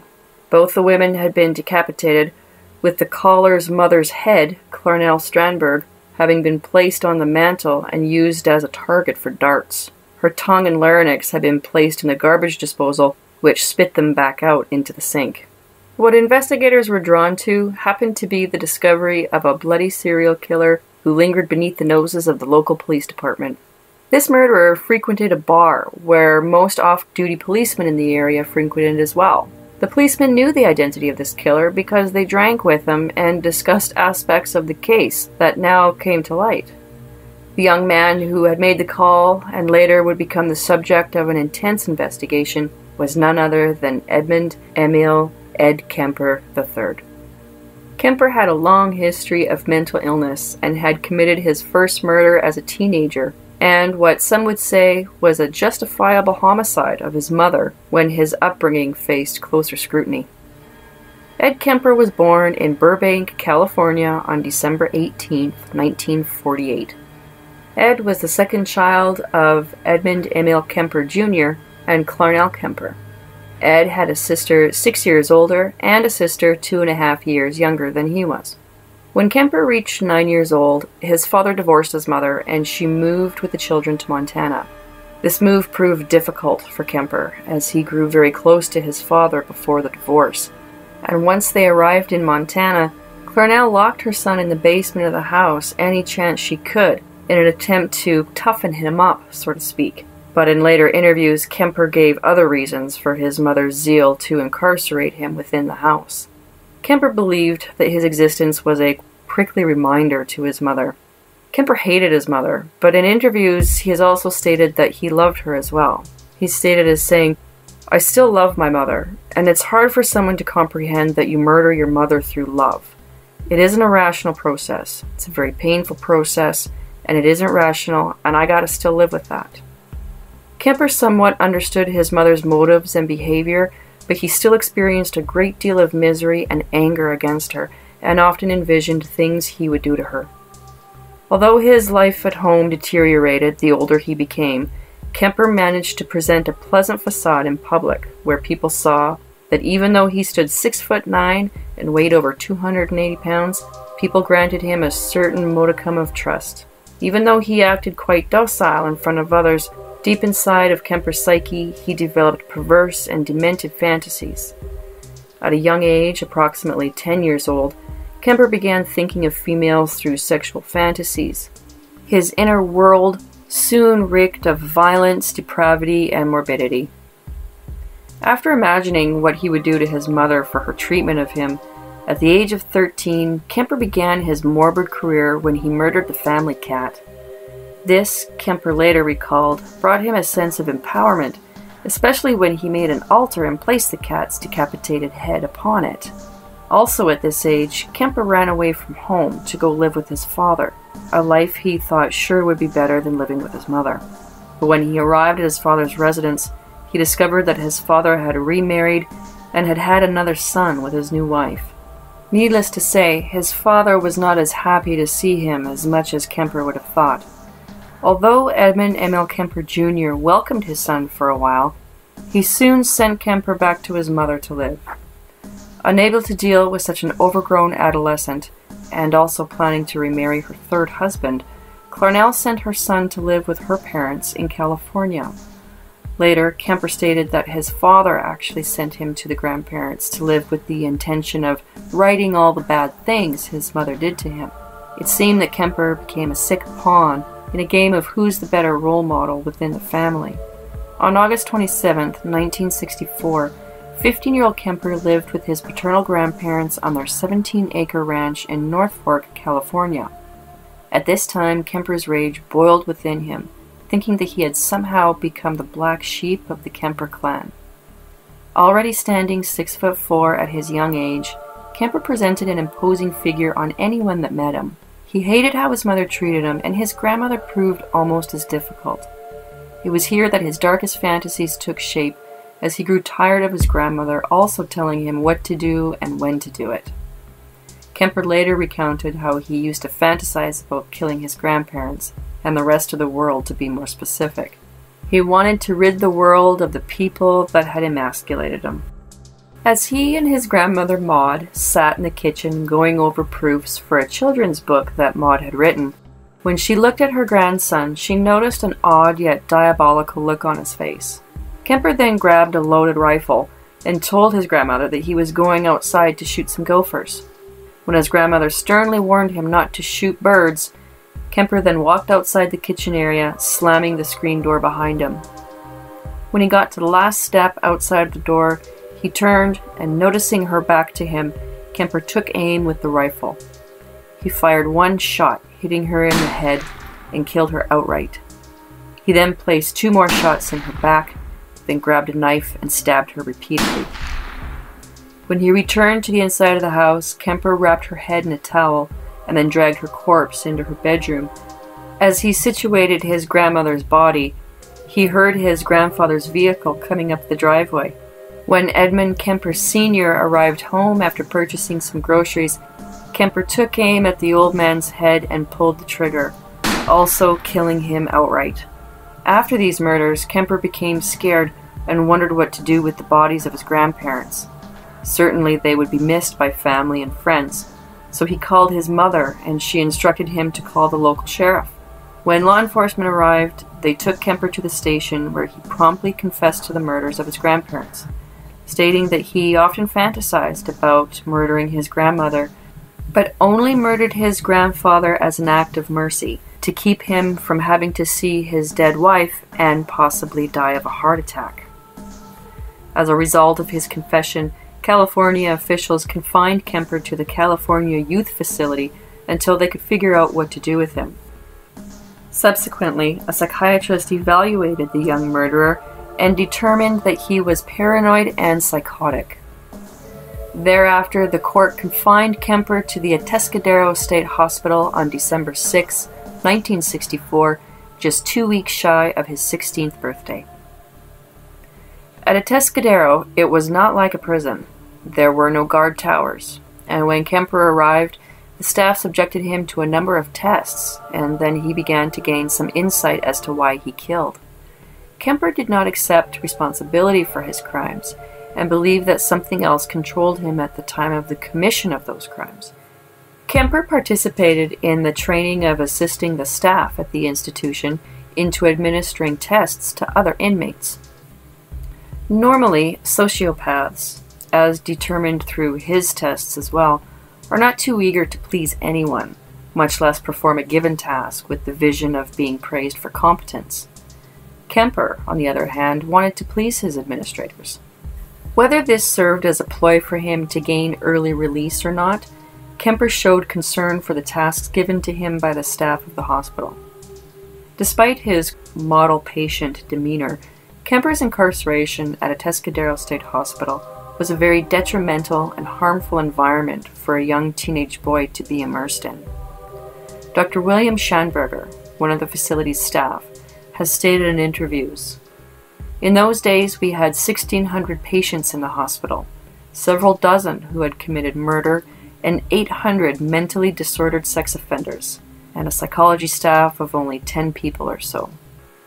While in a Atascadero, Kemper conversed with teenage serial rapists, and in lengthy discourse with these boys, he developed a productivity toward domination and violence, some of the facets that emerged when he committed later crimes.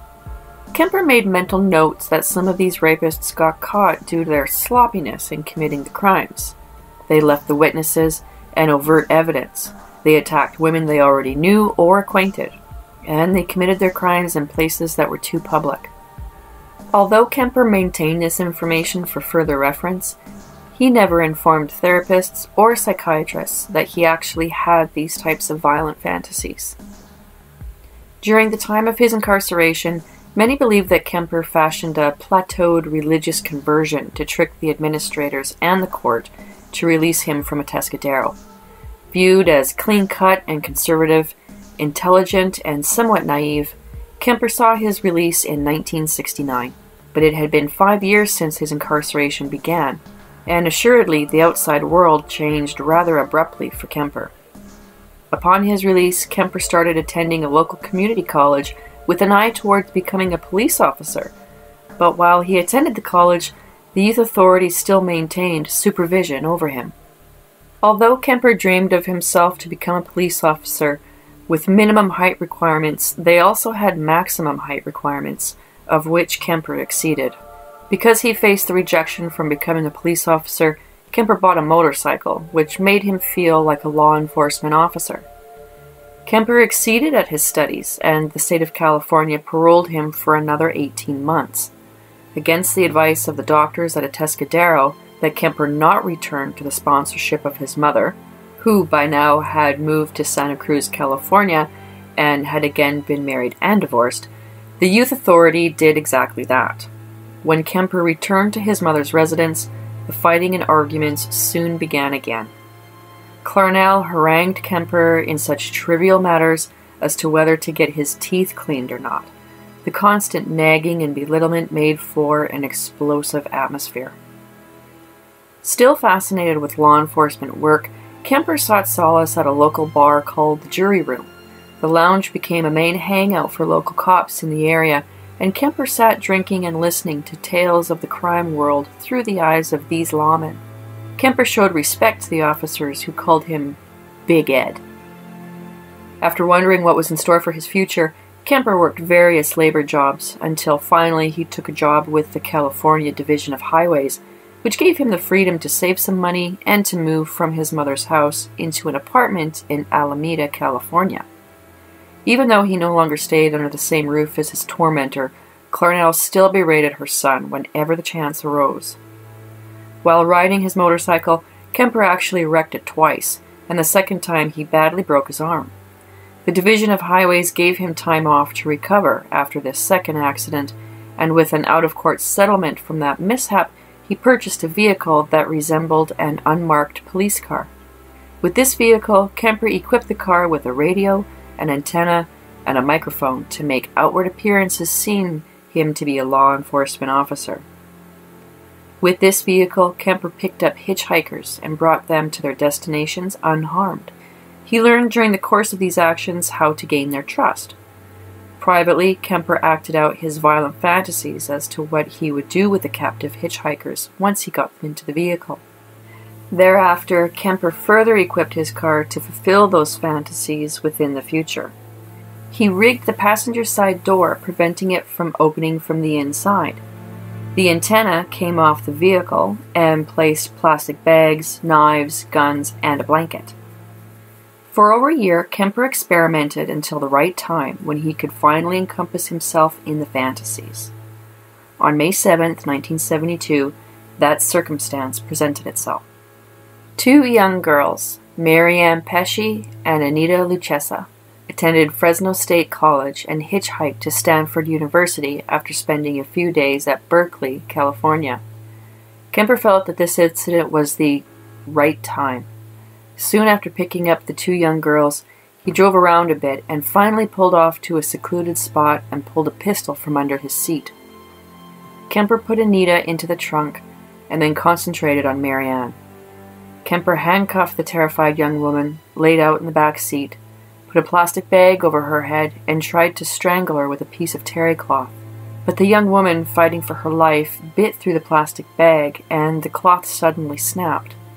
Always the planner, Kemper took out a knife and began stabbing the young woman to death, finally just slashing her throat. Kemper then removed Anita from the trunk and with a larger knife began stabbing her as well. Anita fought and screamed, but Kemper eventually subdued her. After murdering the two young women, Kemper drove around in his car trying to decide what to do with their bodies. Kemper finally decided to bring Marianne's body to his apartment. Kemper undressed the body and systematically dissected her remains. He then decapitated Anita's body. Subsequently, Kemper buried Marianne in the plastic bag that she bit through while Kemper tried to murder her. Later, after his arrest, Kemper led police to Marianne's burial site. He kept the heads of the two girls for a long time, eventually throwing them into a ravine. Marianne's body would later be identified, but Anita's body, nor her head, would ever be found. Because of his quote unquote square demeanor, no one would ever suspect Kemper of two brutal murders. Therefore, he continued to hunt. On the evening of September 14, 1972, Aiko Koo, a 15 year old dancer of Korean descent, grew tired of waiting for a bus to her dance class and decided to hitchhike. Kemper happened by and picked her up. A few minutes passed in idle conversation, and then Kemper brandished a pistol in front of Aiko. When he said he was thinking about using the weapon on himself, Aiko caught on and knew he had no intention of killing himself. Kemper convinced her that he was not going to use the weapon on her either, but if she alerted anyone, he would kill her. Kemper then drove to the base of a mountain range and turned the vehicle onto a deserted path. Kemper then placed tape over her mouth and began suffocating her by placing his fingers in her nose and mouth. Aiko merely passed out, but when she regained consciousness, Kemper then tried the suffocation technique again and didn't stop until she quit breathing completely. Kemper then removed Aiko from the car and placed her lifeless body on the ground and raped her. He took her scarf and completed his suffocation of the 15 year old. When he finished, Kemper placed her body in the trunk and drove away from the scene. Kemper made his way to a local bar and had a few beers before heading home. When he arrived at his residence, Kemper opened the trunk frequently to admire what he called his conquest. Later, when night fell, Kemper took Aiko's body and placed it upon his bed, dissecting parts from her corpse and then finally decapitating her. Subsequently, he deposited the various parts in different locations, and to this day, Aiko Koo's total remains have never been located. On January 8, 1973, Kemper purchased a 22 caliber revolver. He was not supposed to have or even be able to purchase it due to his previous crime and record. But Kemper had no problems with the purchase at all. At this point, his hunting intensified. On the same day as he purchased the revolver, Kemper picked up Cindy Shaw and drove into the woods near Watsonville, California, where he forced the young girl into the trunk of his car and shot her using his new firearm. Just prior to this assault, Kemper had moved back into his mother's house, so he brought Cindy's body back to the duplex where he presently lived, and when his mother left for work the following morning, Kemper had sex with Shaw's corpse.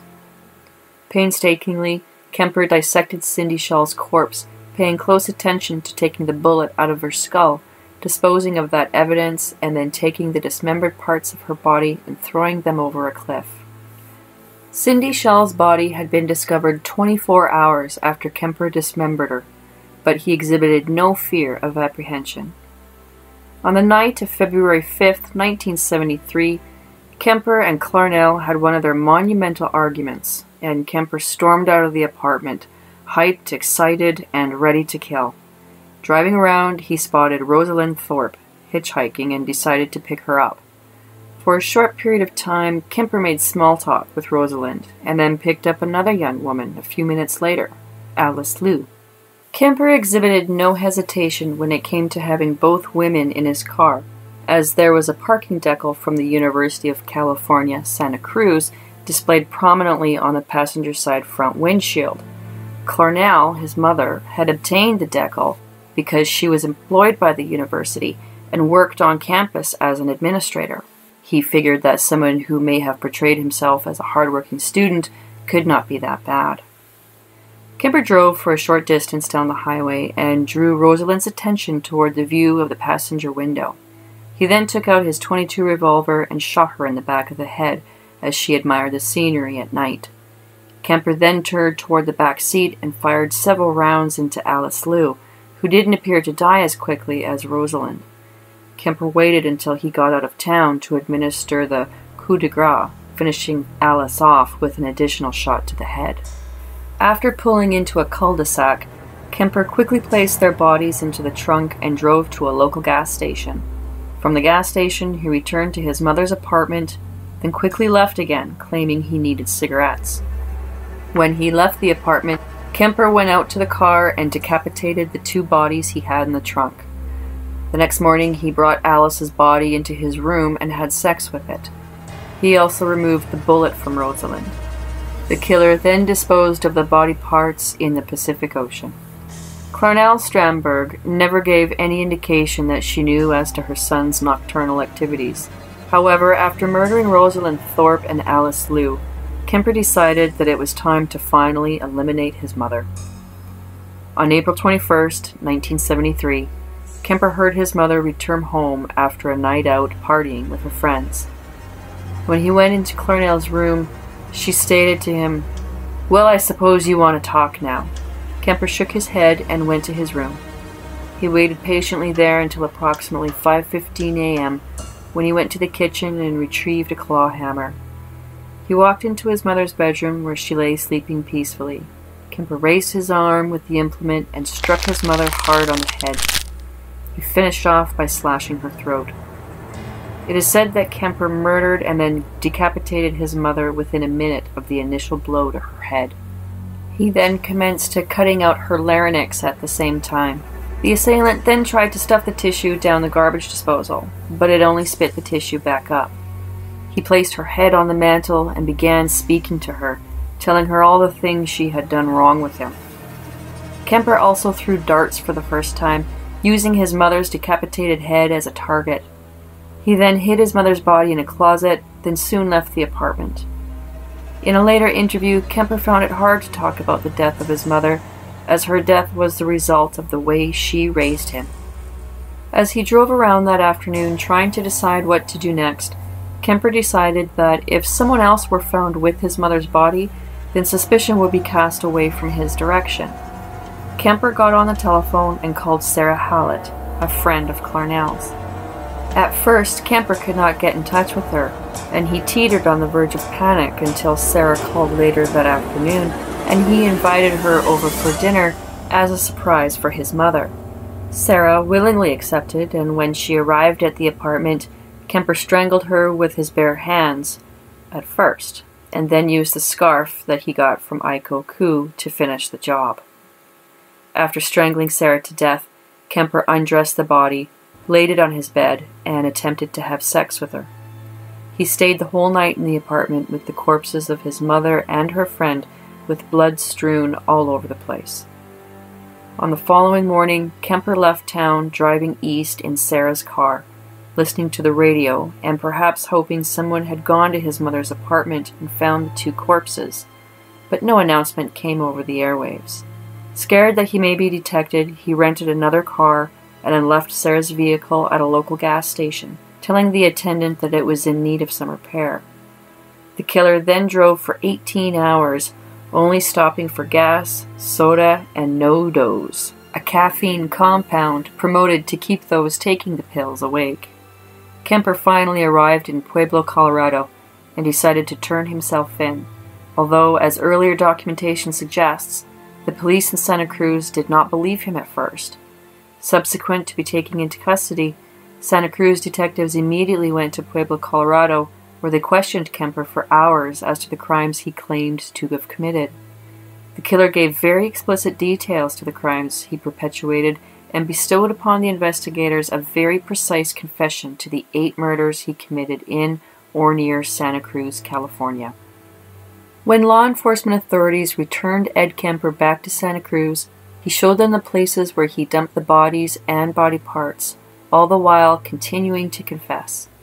When Kemper finished explaining everything to police, his court appointed attorney, Jim Jackson, could find no other defense other than insanity. Finally, on May 7, 1973, Santa Cruz County indicted Kemper on eight counts of first degree murder. Several witnesses stepped forward at his trial to avert that Kemper was not capable of such violence, but the prosecutor at the time torpedoed the witnesses brought before the court. One prosecution witness, Dr. Joel Fort, testified that he reviewed Kemper's case file extensively, even going back as far as when mental health professionals examined the youth after he murdered his grandparents. Dr. Fort also interviewed Kemper, and the assailant revealed to the psychiatrist details about his sexual practices, and even that Kemper practiced a demented form of cannibalism. Dr. Fort theorized that Kemper exhibited no symptoms or behavior that would classify him as a paranoid schizophrenic. Kemper was obsessed with violence and sex, craved attention, even to the point of slashing his wrists with a ballpoint pen during his trial. In fact, Kemper tried twice to kill himself during the trial.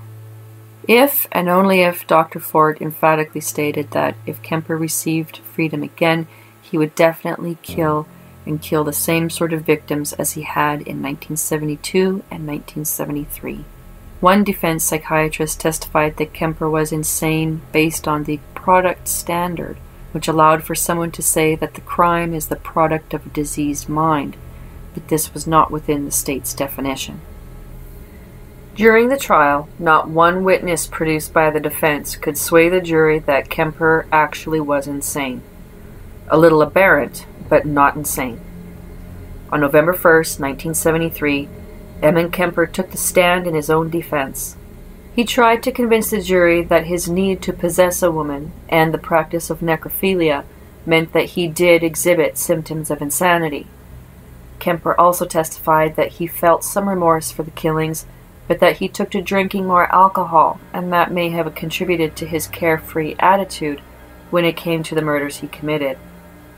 But Kemper also described the sexual ecstasy he experienced when he removed the victims' heads. Killing appeared to be a narcotic to this merciless killer. The defendant tried to emphasize on the stand that he had two personalities, one which was normal and the other of a killer personality when activated. After a three week trial on November 8, 1973, the six man, six woman jury deliberated for over five hours before finding Kemper sane and guilty of eight counts of first degree murder. The whole time, when Kemper believed the jury would find him guilty, he hoped for a sentence of death.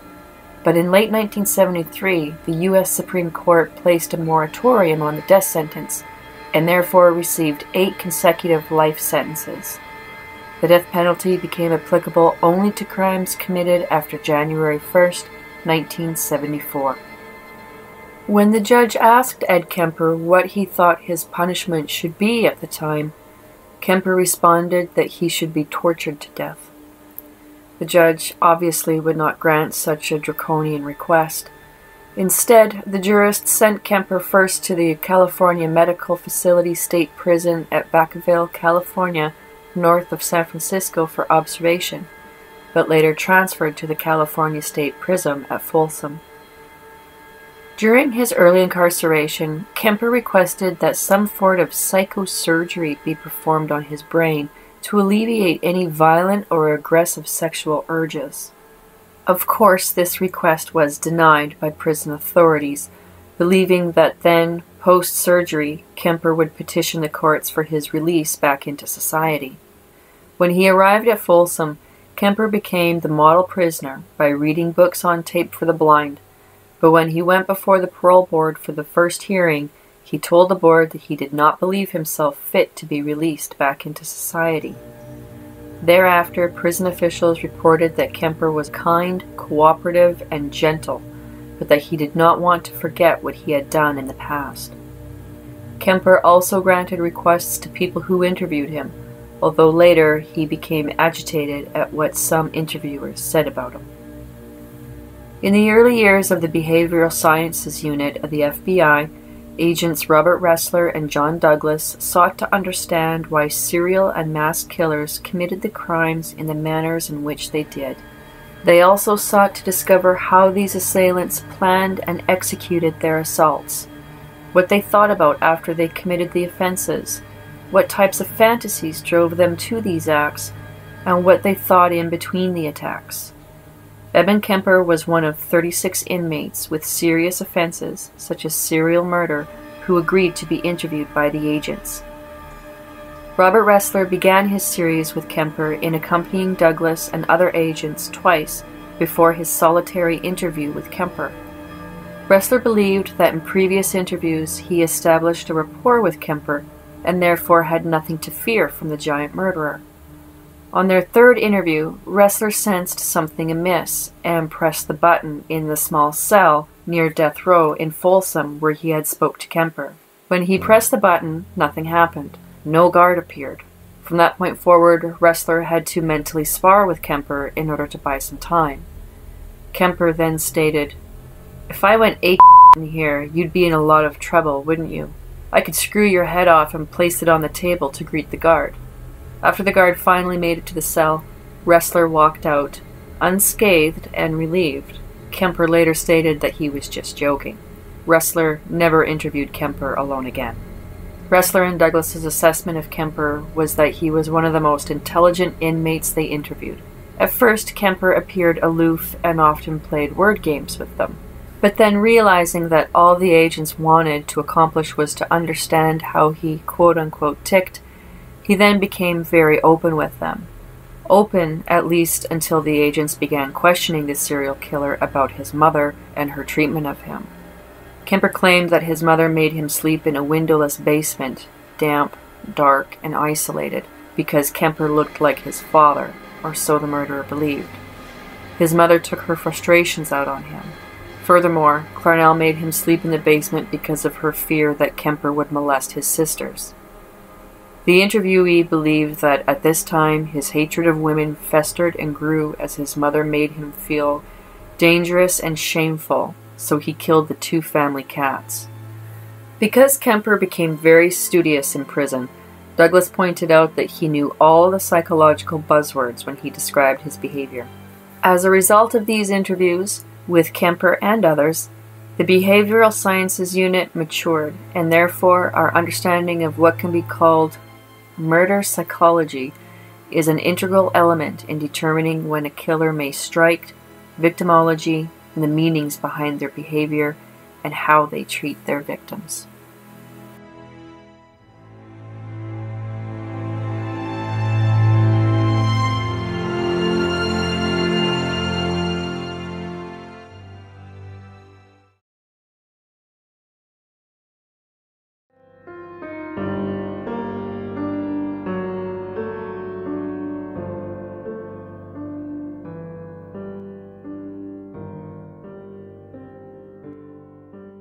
A war hero and contemporary of Joan of Arc, Gilles de Montmorency Laval, later known to history as Gilles de Rais, was born in 1405 into one of the wealthiest families in all of France. By the time Laval had been born, the Hundred Years' War had been going on for the last 60 years and would continue for almost 50 more. Gilles' mother and father, Guy de Rais, and mother Marie de Craon, married as a result of an arrangement between their parents to avoid a vendetta of sorts. The de had two children, Gilles and his brother René. De Rais became very proficient in academics and the martial doctrine so prevalent with young boys at the time. Several tragedies occurred in Gilles' young life that would characterize his later personality. During the Battle of Agincourt in 1415, De Rais's family suffered a loss when his uncle was slaughtered as a prisoner of war for the English. Later that year, his mother and father died simultaneously, his mother of alleged natural causes, and his father in a boar hunting accident. At the age of 14, De Rais was squired out to a local nobleman to learn the ways of being a medieval knight.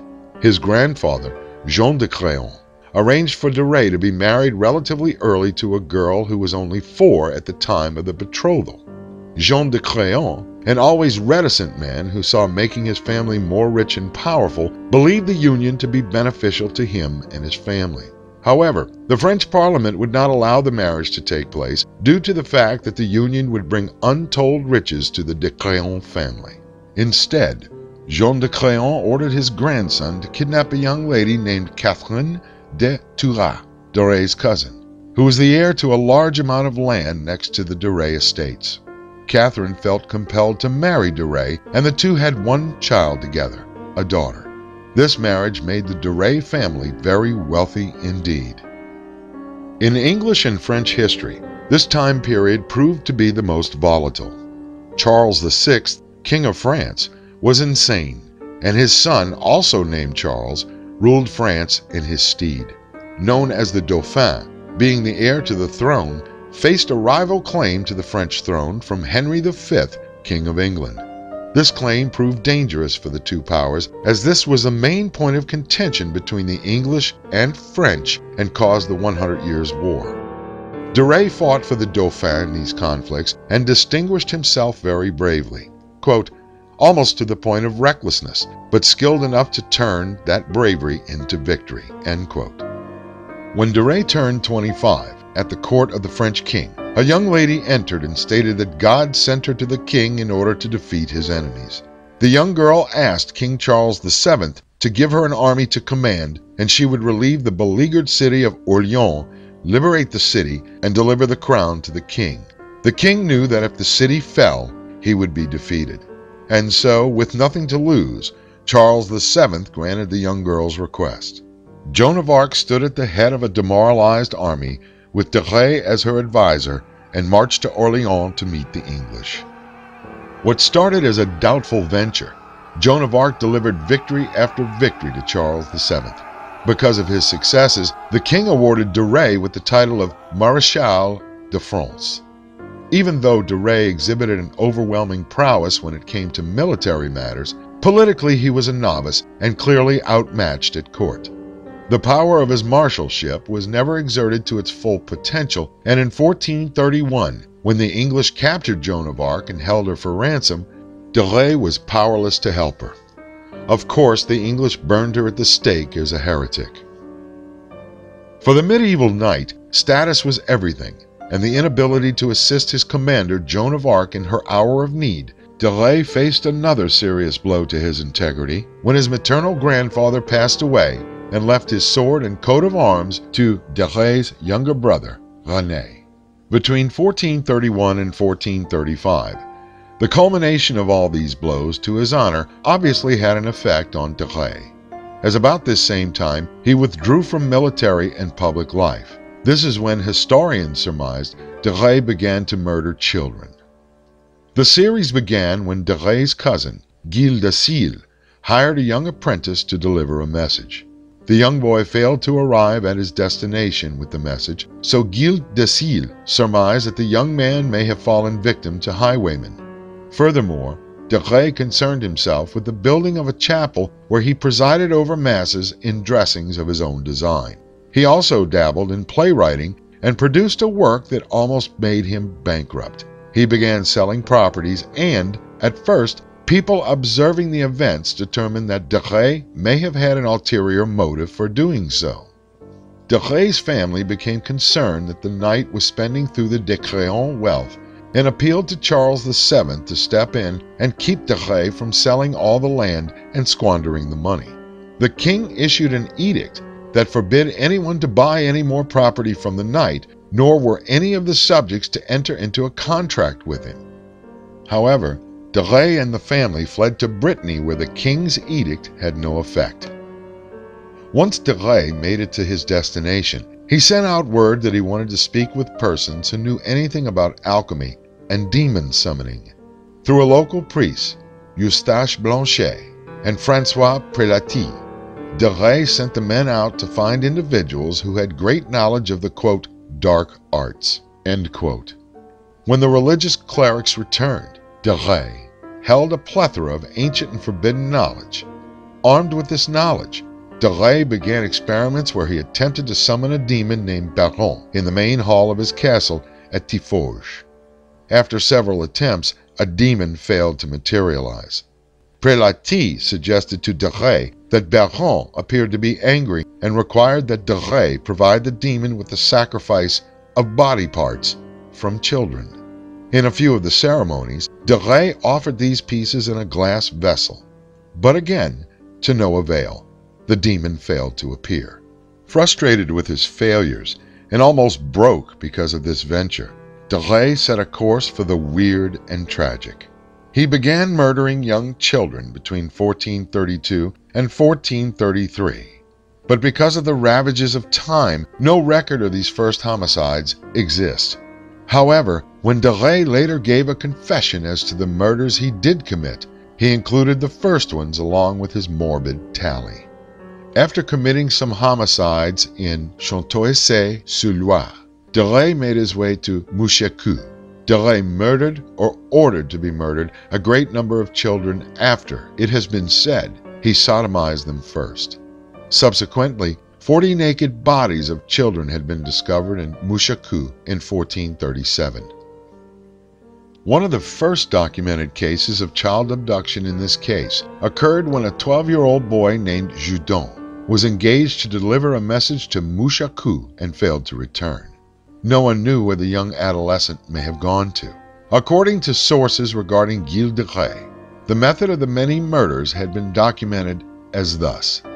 The boy was pampered and then dressed in better clothes than he had ever known. The evening began with a large meal and heavy drinking, particularly hippocras, which acted as a stimulant. The boy was then taken to an upper room to which only he and de Retz in his immediate circle were admitted. There he was confronted with the true nature of his situation. The shock thus produced on the boy was an initial source of pleasure for Gilles.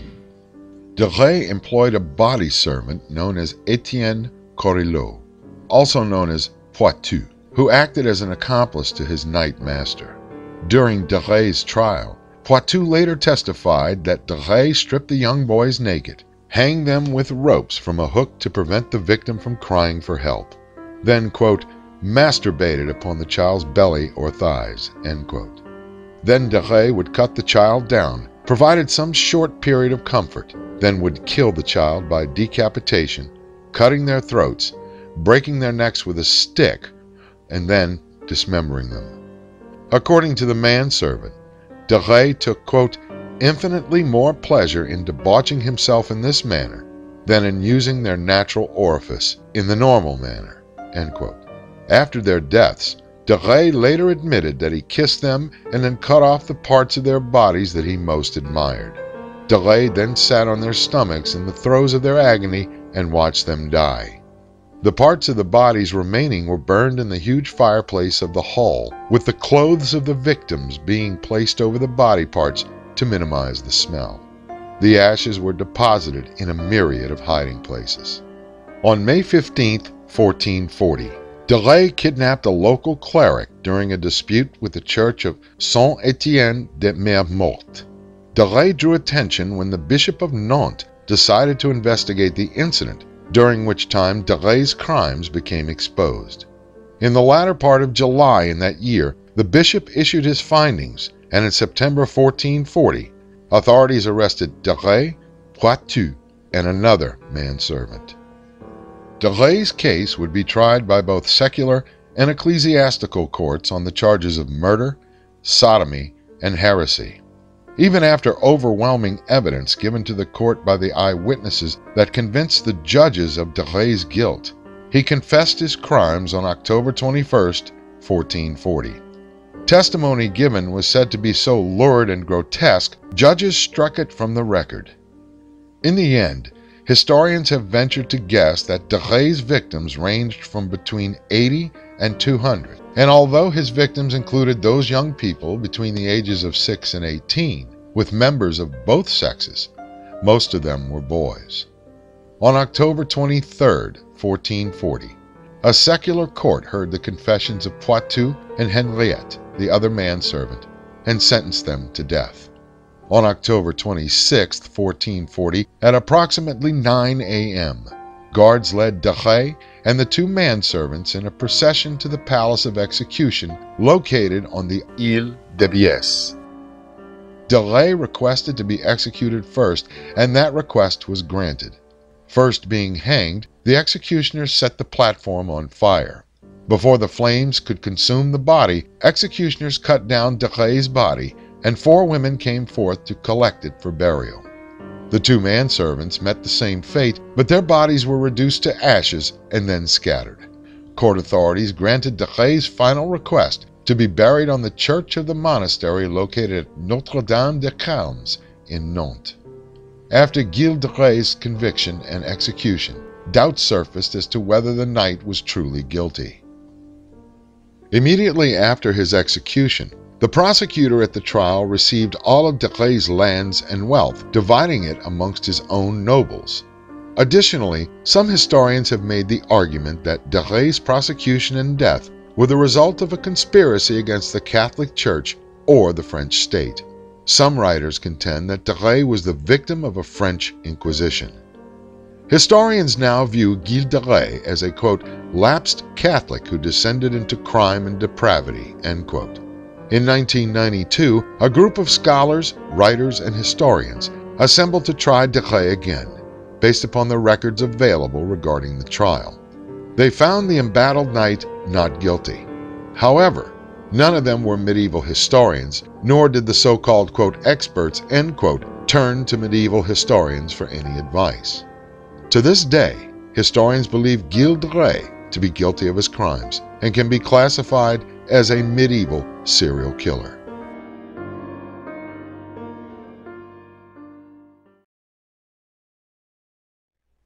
If you enjoyed this marathon, please check out our other episodes and tell your friends and other true crime aficionados about us. They may not know we exist. Also, we would like some support from the viewers, so if you want to subscribe for a long time or just make a contribution, we have a PayPal account we are also on Subscribestar and Rumble. Also, if you want to follow us, we're on Facebook and Twitter, and I will leave the links below. Stay tuned for more episodes, and please forgive the sound effects. So don't forget to subscribe and hit the bell for notifications. Until next time.